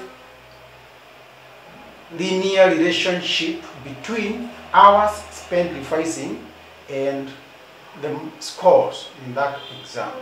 There is a positive linear relationship. There is a positive correlation. So far so good and you saw the strength is 0.62 and I said it can be from negative 1 all the way to positive 1 through 0. 0 is no relationship. Positive uh, 1 is the perfect relationship. So he said anything 0 to about uh, to about 0.1 thereabout we move from weak relationship, moderate relationship to about 0.5 and above there to 1 is a strong relationship. So ours is a strong relationship. We have established that. And we have finished with correlation. Correlation, we have seen the direction is positive and the strength is strong relationship of coefficient, uh, correlation coefficient of 6, 0.62. So we established that. But I decided to go a step further into a bit of regression.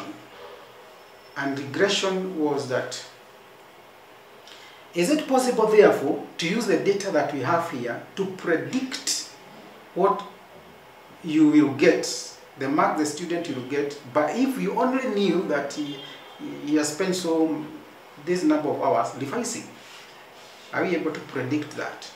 And when we go to predicting, we are going into the areas of regression. I have said I'm going to cover it in depth in the next lecture. However, this is important to understand. If we are going to predict anything, we must be confident that the data that we have here is not out of random chance. It's because there is a relationship between y and x or x and y. Therefore,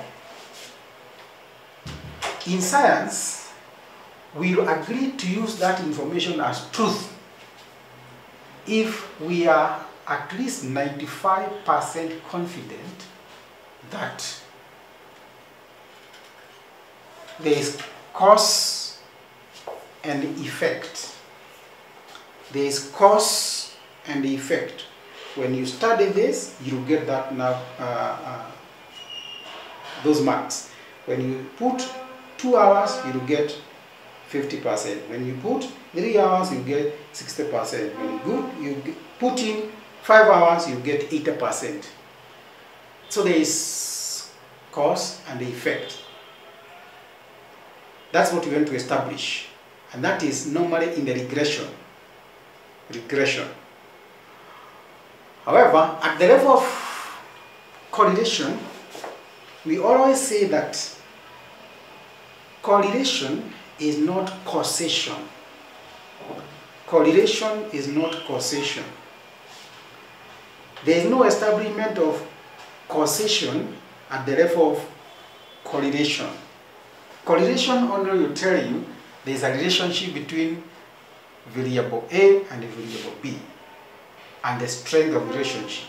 But it is not supposed to tell you that A is causing B to behave like this. When you go to that level, you are going to regression. Therefore, I'm taking you slightly ahead by, after calculating this, are we able to predict to get into the linear regression? But before we get there then, we had our null hypothesis that we had uh, stated from the word go that you are testing whether we are going to reject our null hypothesis or whether we are going to accept the null hypothesis. And I've just said, in science, we do not simply accept the null hypothesis, but we do what we call, we, we fail to reject. We fail to reject. That's a proper science. We fail to reject. And when we fail to reject null hypothesis, in essence, we are saying we are accepting the alternate hypothesis. null hypothesis was hypothesis of no effect, that the number of hours spent revising the exam is not positively related with the score. That's null. And now we want to determine, do we accept it, do we reject it, or fail to reject? In essence, do we take in the alternate hypothesis? How do we do that? We say calculated R, which is 0.62. If it is less than the critical R, then we reject null hypothesis. And if we reject it, then it means we accept the alternate hypothesis. So, if the calculated R therefore is, uh, is greater or equal to critical R, then that's the time to accept the null hypothesis or fail to reject. That's the term we use. And I have seen this then. Where do we get critical R from? How do we determine critical R? This is calculated, but where is critical R coming from? In all statistic, statistical books, in all statistical books, you'll find what you call statistical tables at the back of those books. Statistical tables. You'll find statistical table for correlation work. You'll find for student t-tests. You'll find one for analysis of variance. All that. Since I didn't have it here with me, I'll take the liberty of just explaining and then give you work to go and uh, have a look at the statistical table, probability distribution table for correlation. When you go and look for it in the books, at the back of the book there are those probability distribution tables. You'll find the one for correlation. And for the one for correlation, what you do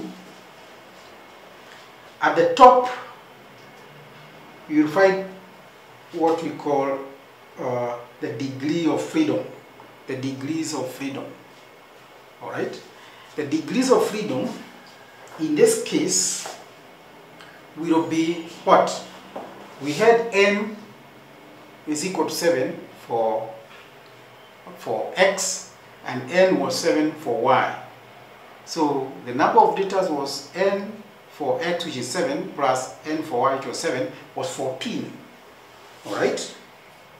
14 but the degree of freedom in this case is not minus 1 you minus 2 because you have two sets of data for the x and for the y. So the degree of freedom will be 14 minus 2 and this table that you see there you'll see the degree of freedom and it will be 2 there is one tail and there are two tail.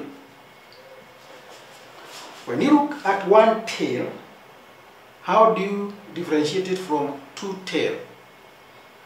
One tail is where the hypothesis predict a direction. Like this hypothesis already predict a positive direction and therefore it becomes a one tail. Two-tail test is where the hypothesis stated does not indicate direction. If there was no word positive here, it will be that it is related to the score. If there was no positive, it will be a two-tailed, because it means it can go either way. All right? Remember, the degree of freedom in this case is 14. So the table will have 1, 2, 3, 4, all the way, you see quite a number. If you write 14, that's the degree of freedom. Then down here is a p-value.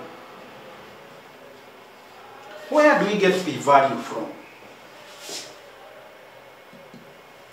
P-value is probability that the result you are getting, you have 95% confidence. And therefore, the probability that's out of a random chance or error is only 5%.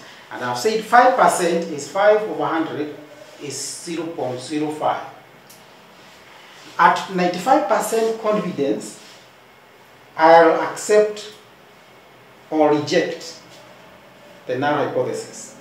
So you'll see 0 0.1, 0 point, let's say, you see 1,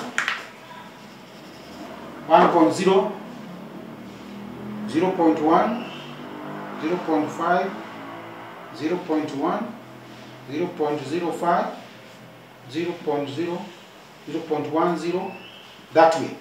So you come to 0.05 because you have already set your p-value to be less than 0.05. That's when you set yourself at the beginning of setting the null hypothesis that you accept or reject null hypothesis at p-value of 0.05, which is a confidence level that 95% confident that I can rely on this data. So you go at the p-value, then you draw a line, and 14 degree of freedom, where they intersect here, you'll find critical value written there. That's the critical value. There. This one don't don't don't don't get stressed so much about it. You repeat again and again when you come to establishing critical value here, based on p-value and degree of freedom, whether it's one tail or two tail test.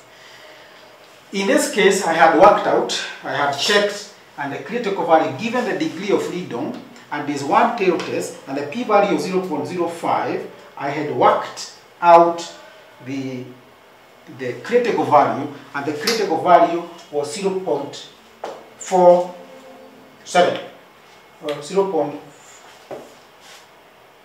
0.457. Uh, that one I checked from the tables.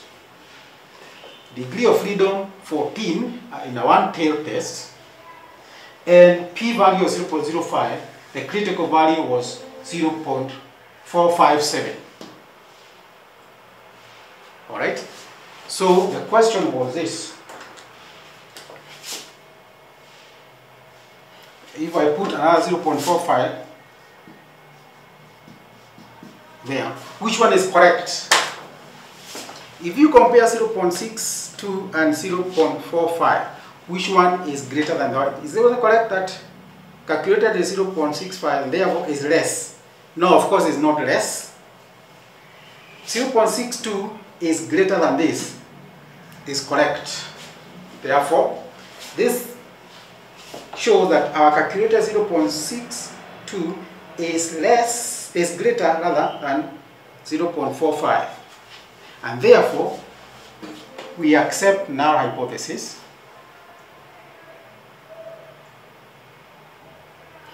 We fail to reject null hypothesis. What that one means is this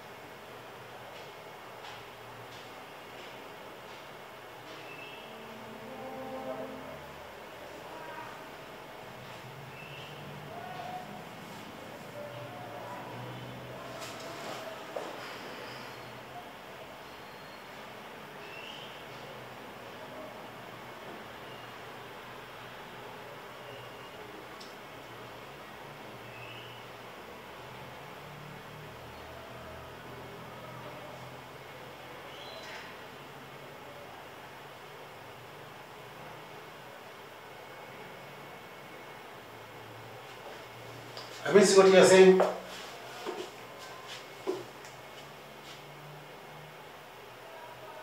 I want to see your comment so far.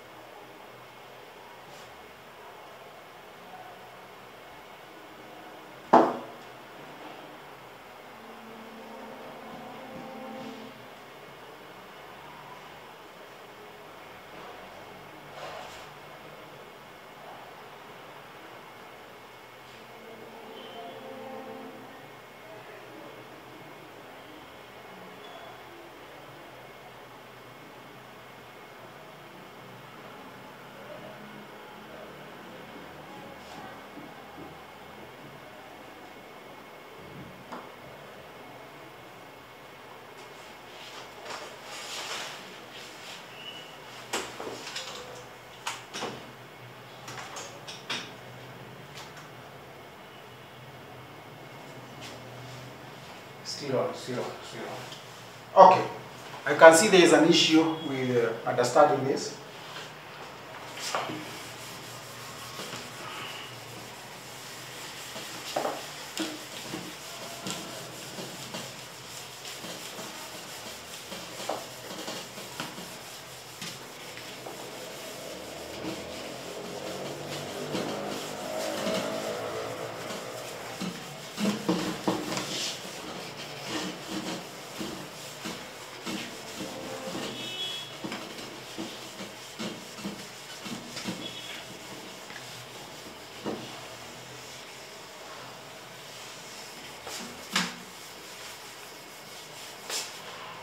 Okay.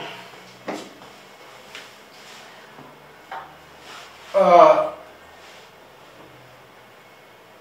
Edna, you're saying, explain probability of error. I had gone off on my side. I missed something. Dennis, kindly explain what you meant by degree of freedom.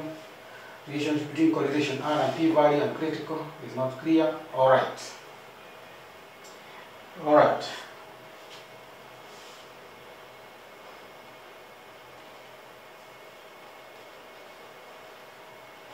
Let me explain again. How much time do you have for you? For me, Yes, off. 20 minutes till 11. Or you want to do by 11, eh? Fine, fine. Uh, I'll maximize on that. Okay. We go on. Yes. Unmute.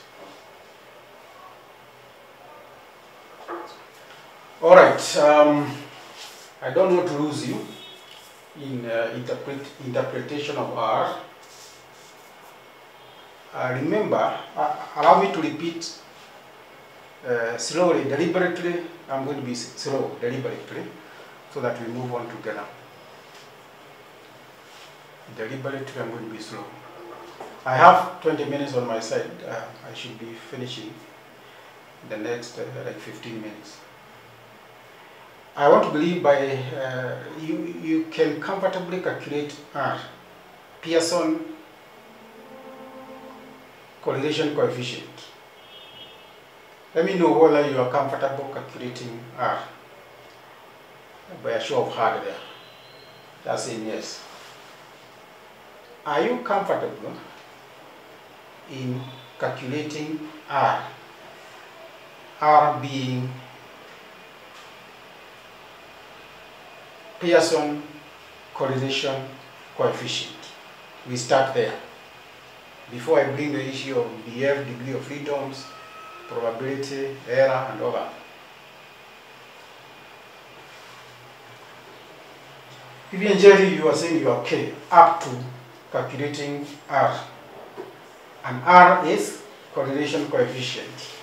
And remember what I've said, R uh, always is between negative 1 to positive 1.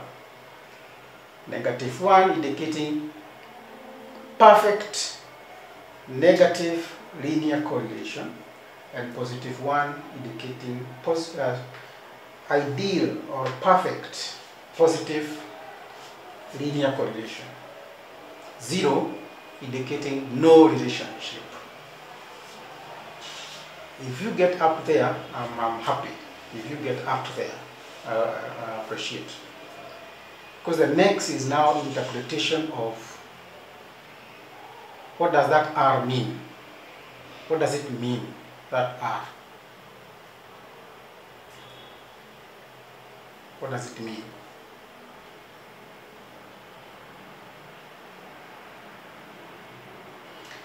Well, um, what I do, because of uh, constraints of time, constraints of time, I've, I've noted that if I go on talking about uh, confidence level, I talk about probability value, um, it's so new to you probably, you've not covered it. I'll, I'll, I'll look for time and take preliminaries. If really you don't understand what you call degree of freedom, then I'll have to start from afar. I'll start from a far distance. So,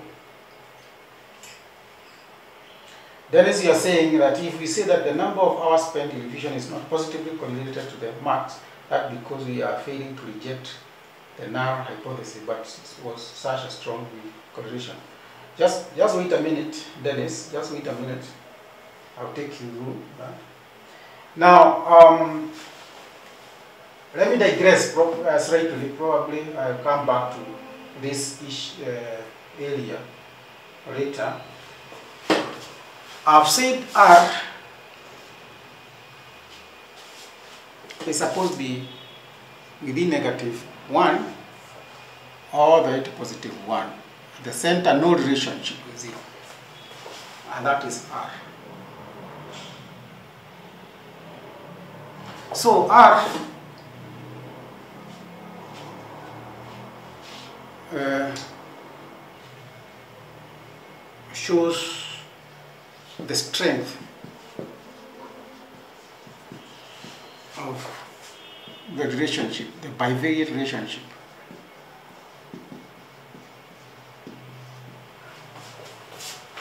R shows the strength of bivariate relationship.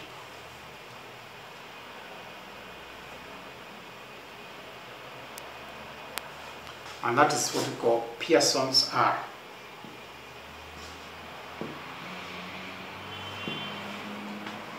And all this is to do with correlation. So 0.62 is a strong, it's a strong relationship. I'll introduce another term here, Pearson's R squared.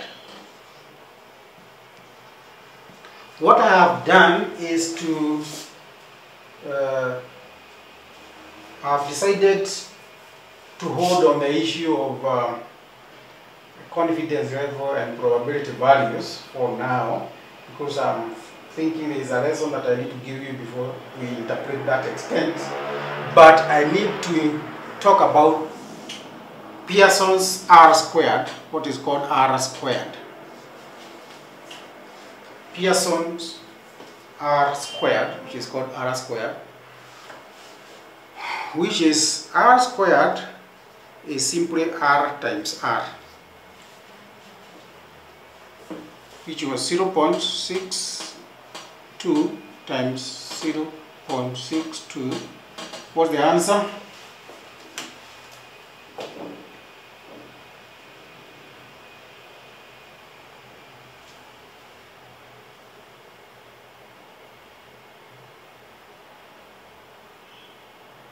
Zero point six two times zero point six two.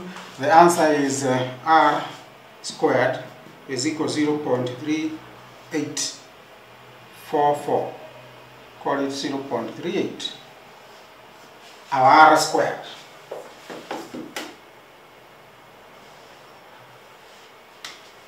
So, um, Edina Kerubo, worry, I'll, I'll discuss the issue of degree of freedom in a separate lecture.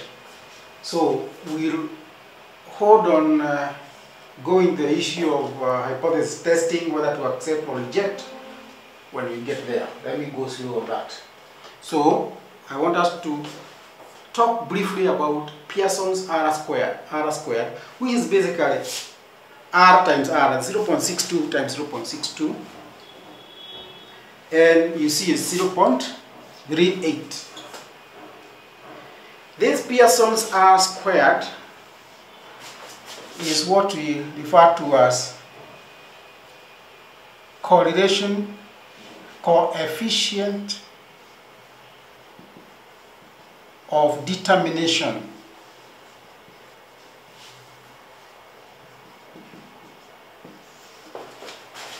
Coefficient of determination.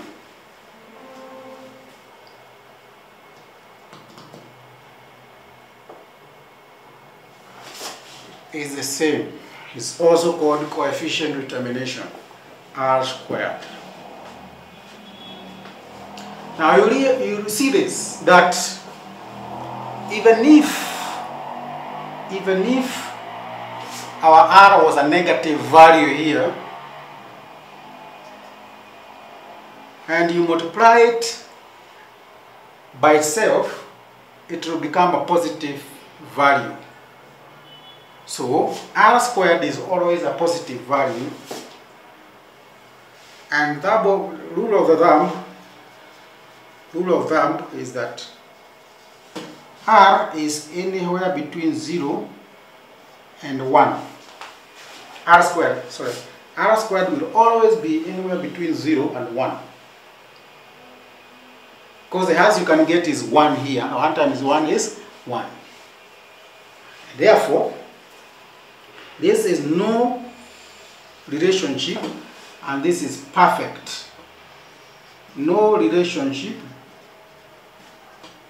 is perfect relationship.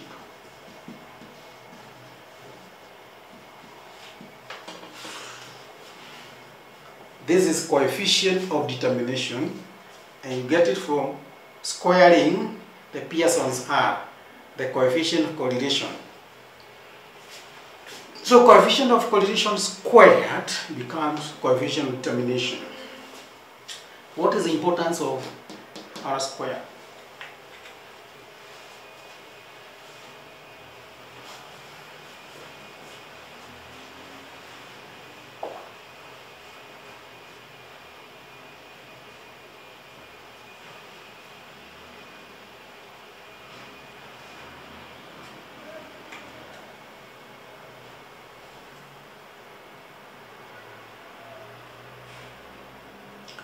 Allow me to proceed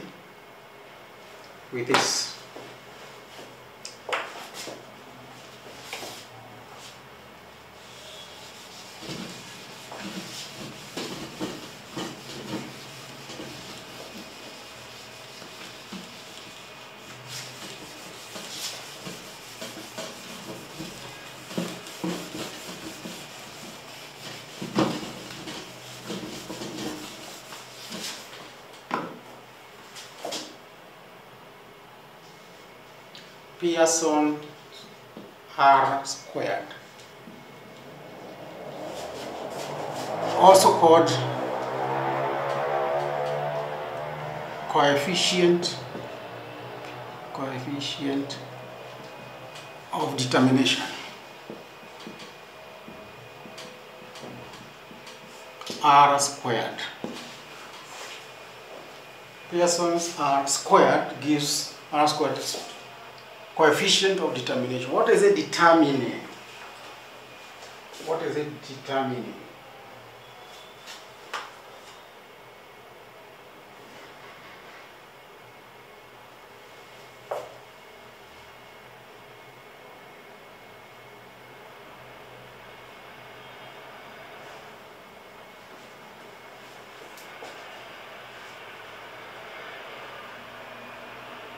What is it determining?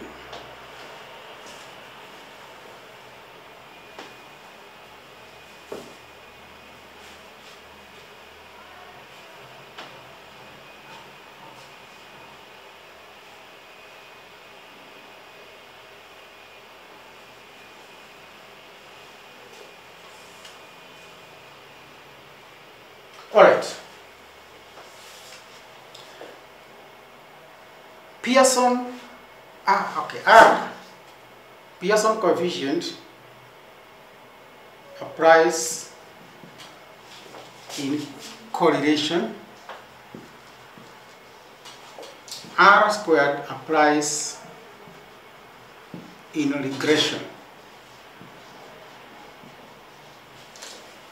Pearson R is coefficient, uh, correlation coefficient.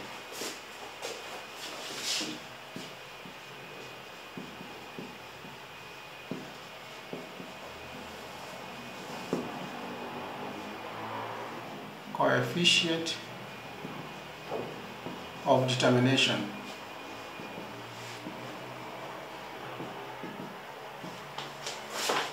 Coefficient Correlation coefficient applies in correlation. Coefficient of determination applies in regression. I don't want. I want you to get that one from word go. This is 0 0.62. This is 0 0.38.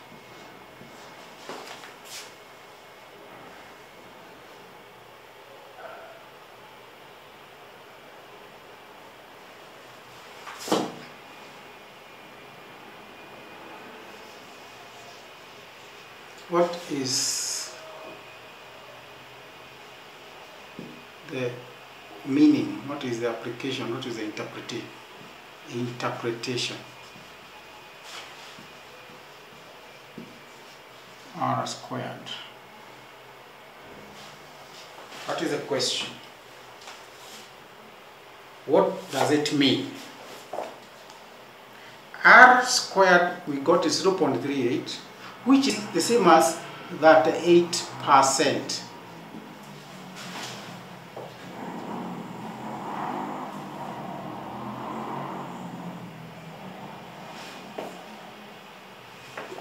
Number of hours spent in revision versus scores in the exam. Number of hours is independent.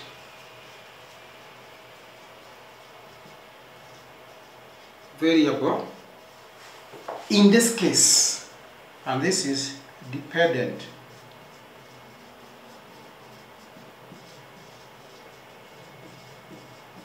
In this case now, that we are going into regression.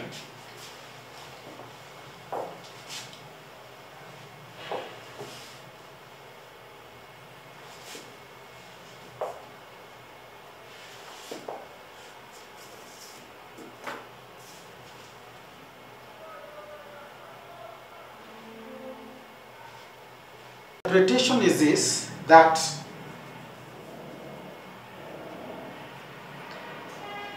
the number of hours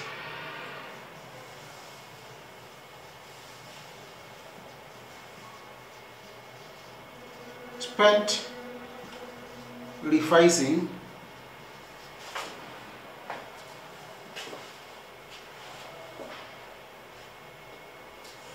accounts explains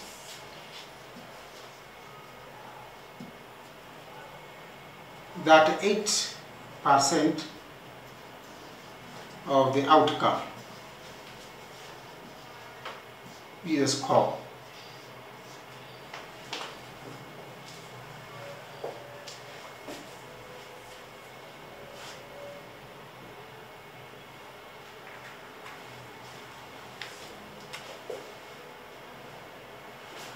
X and Y. Y is the dependent of X. X is number of hours spent in revision and Y is the score that one gets.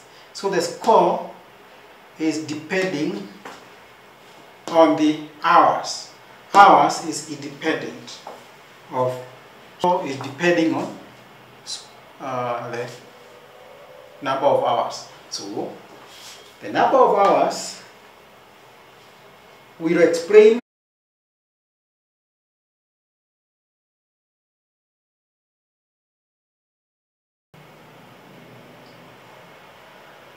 I need to know whether we are together.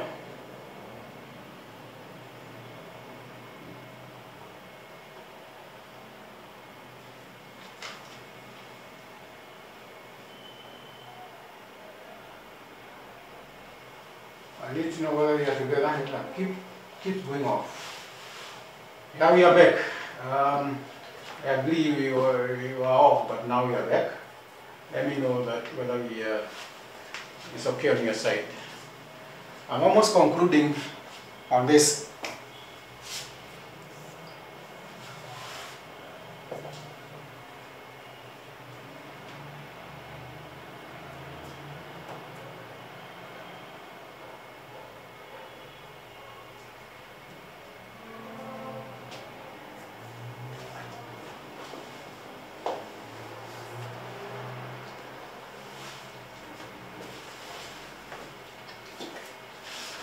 All right, let me know uh, whether we are together.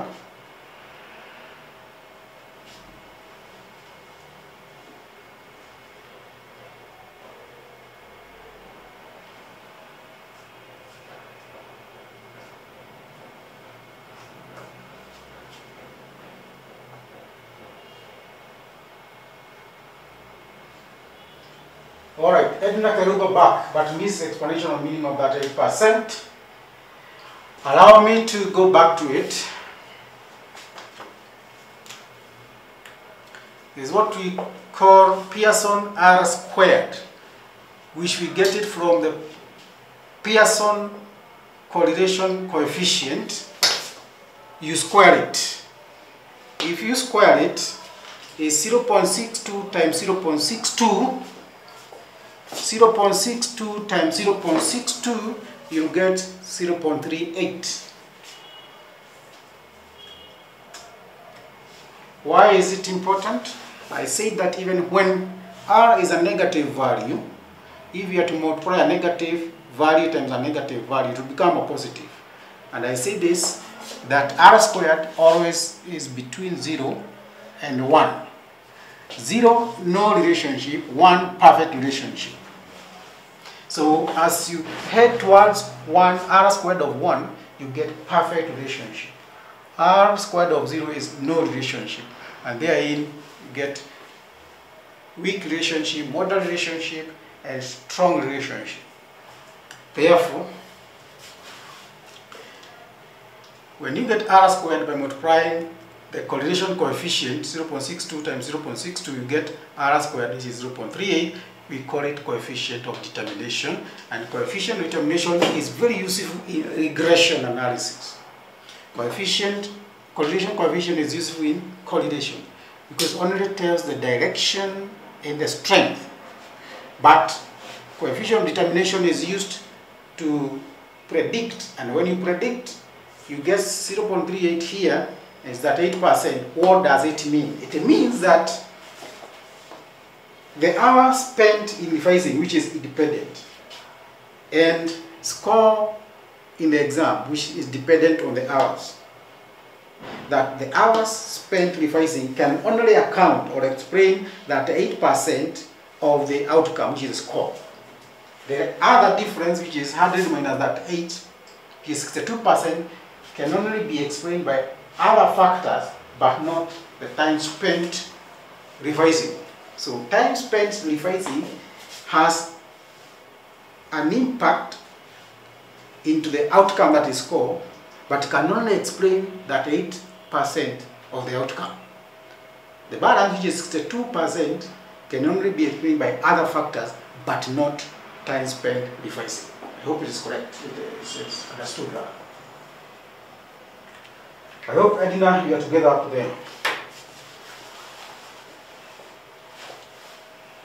Let me know whether we are together or whether you have understood that 8%.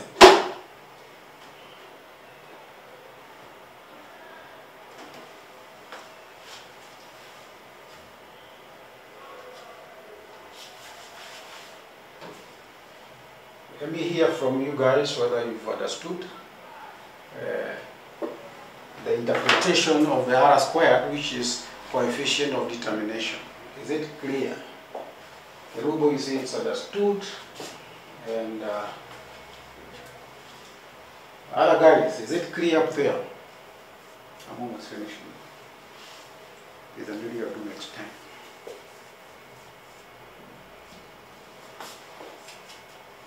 Understood?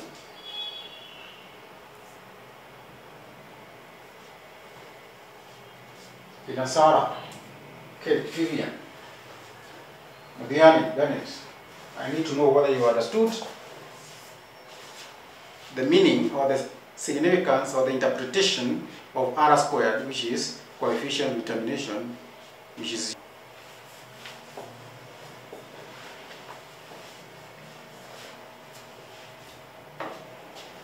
I need guys to know whether you understood that. Let me know.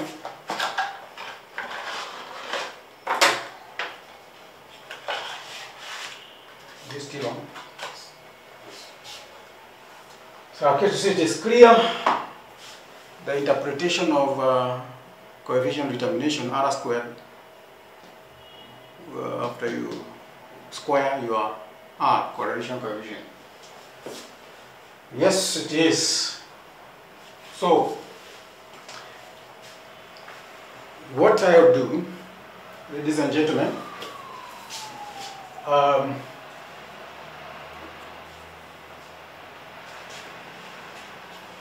I've discussed the issues of uh, covariance and now correlation, and I've decided to go deeper into correlation. But I've also touched on regression. However, I'll find time probably uh, next week, next week, to go through linear regression and probably a bit of multiple regression. However, I have uh, perceived that there is a knowledge gap in as far as the issue of uh, determining degree of freedom, determining um, the confidence level, setting a confidence level, and also probability value, p-values, and what we call random error, occurrence by random chance, random error in uh, research is concerned. And because of that then, uh, that's an area of cover uh, before I go into uh, explaining whether to accept or to reject null hypothesis that we had set in this case. So that one will take probably an hour, an hour and a half, which we do not have now. So you allow me to end the session here.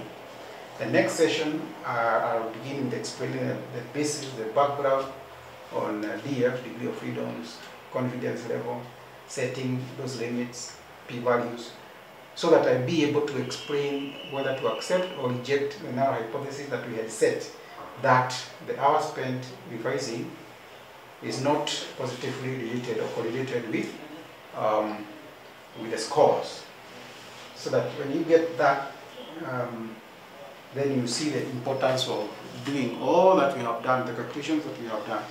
Remember I've said that most of the time um, you will feed data into the softwares, the programs like GraphPad, Prism and etc. And you click even the Excel. The Excel has got correlation. You highlight this data, then you you get an output. An output will be uh, you get a coefficient, correlation coefficient, you get coefficient determinations, but you need to know how they came about and how to interpret them. That's the essence of all this. So in the next lecture, two hours will be enough to go through that background and also finish with uh, linear regression. But for now, so far so good. Now, uh, again, I don't know how you you your take on uh, this YouTube way of uh, delivering lectures, whether you want us to go this route or to go into the other one of, uh, of Google Meet. I need to hear that. I'm finishing up, but also remember to remember to uh, subscribe to this channel so that any other time we we are going uh, live, you get prompted. But for now, it will be specifically for the lectures uh, I'm giving, this series of lectures. Vivian Jerry is saying that she thinks it's a, it's a great way of doing lectures. This is better. Uh, uh, I get difficulties to imagine how would have taken you through this on, uh, on a Zoom. So, um, um, I think the tube is better and even easier to go back and listen to the lecture. Mm, Dennis, all right. Uh, yes, you don't have to cram this. Eh? You need to understand the background, where they are coming from, so that when you get the computer outputs, uh, you not just apply things that you don't uh, comprehend. It will be important that you understand the basis. So what I do, um, I'm thinking this week, uh, no, no lecture this week until next week. Uh, we'll agree whether you'll be on a day like today, the same timing, or on Fridays. I'll leave that one to you to decide, to agree whether you want it to be on Wednesdays, the morning, or Fridays? You to tell me. So next week we'll cover what I've told you, the backgrounds of degrees of freedoms and all that, confidence level setting, p-values, then we finish up with linear regression and probably a bit of multiple regression. Then uh, we'll be on the right track. We've done, this is still part of descriptive statistics. We are almost coming to the end of descriptive statistics, that then we can go into inferential statistics. So, have a nice uh, week. Um, also, uh, feel I've delivered quality uh, effectively today. Thank you. Good day.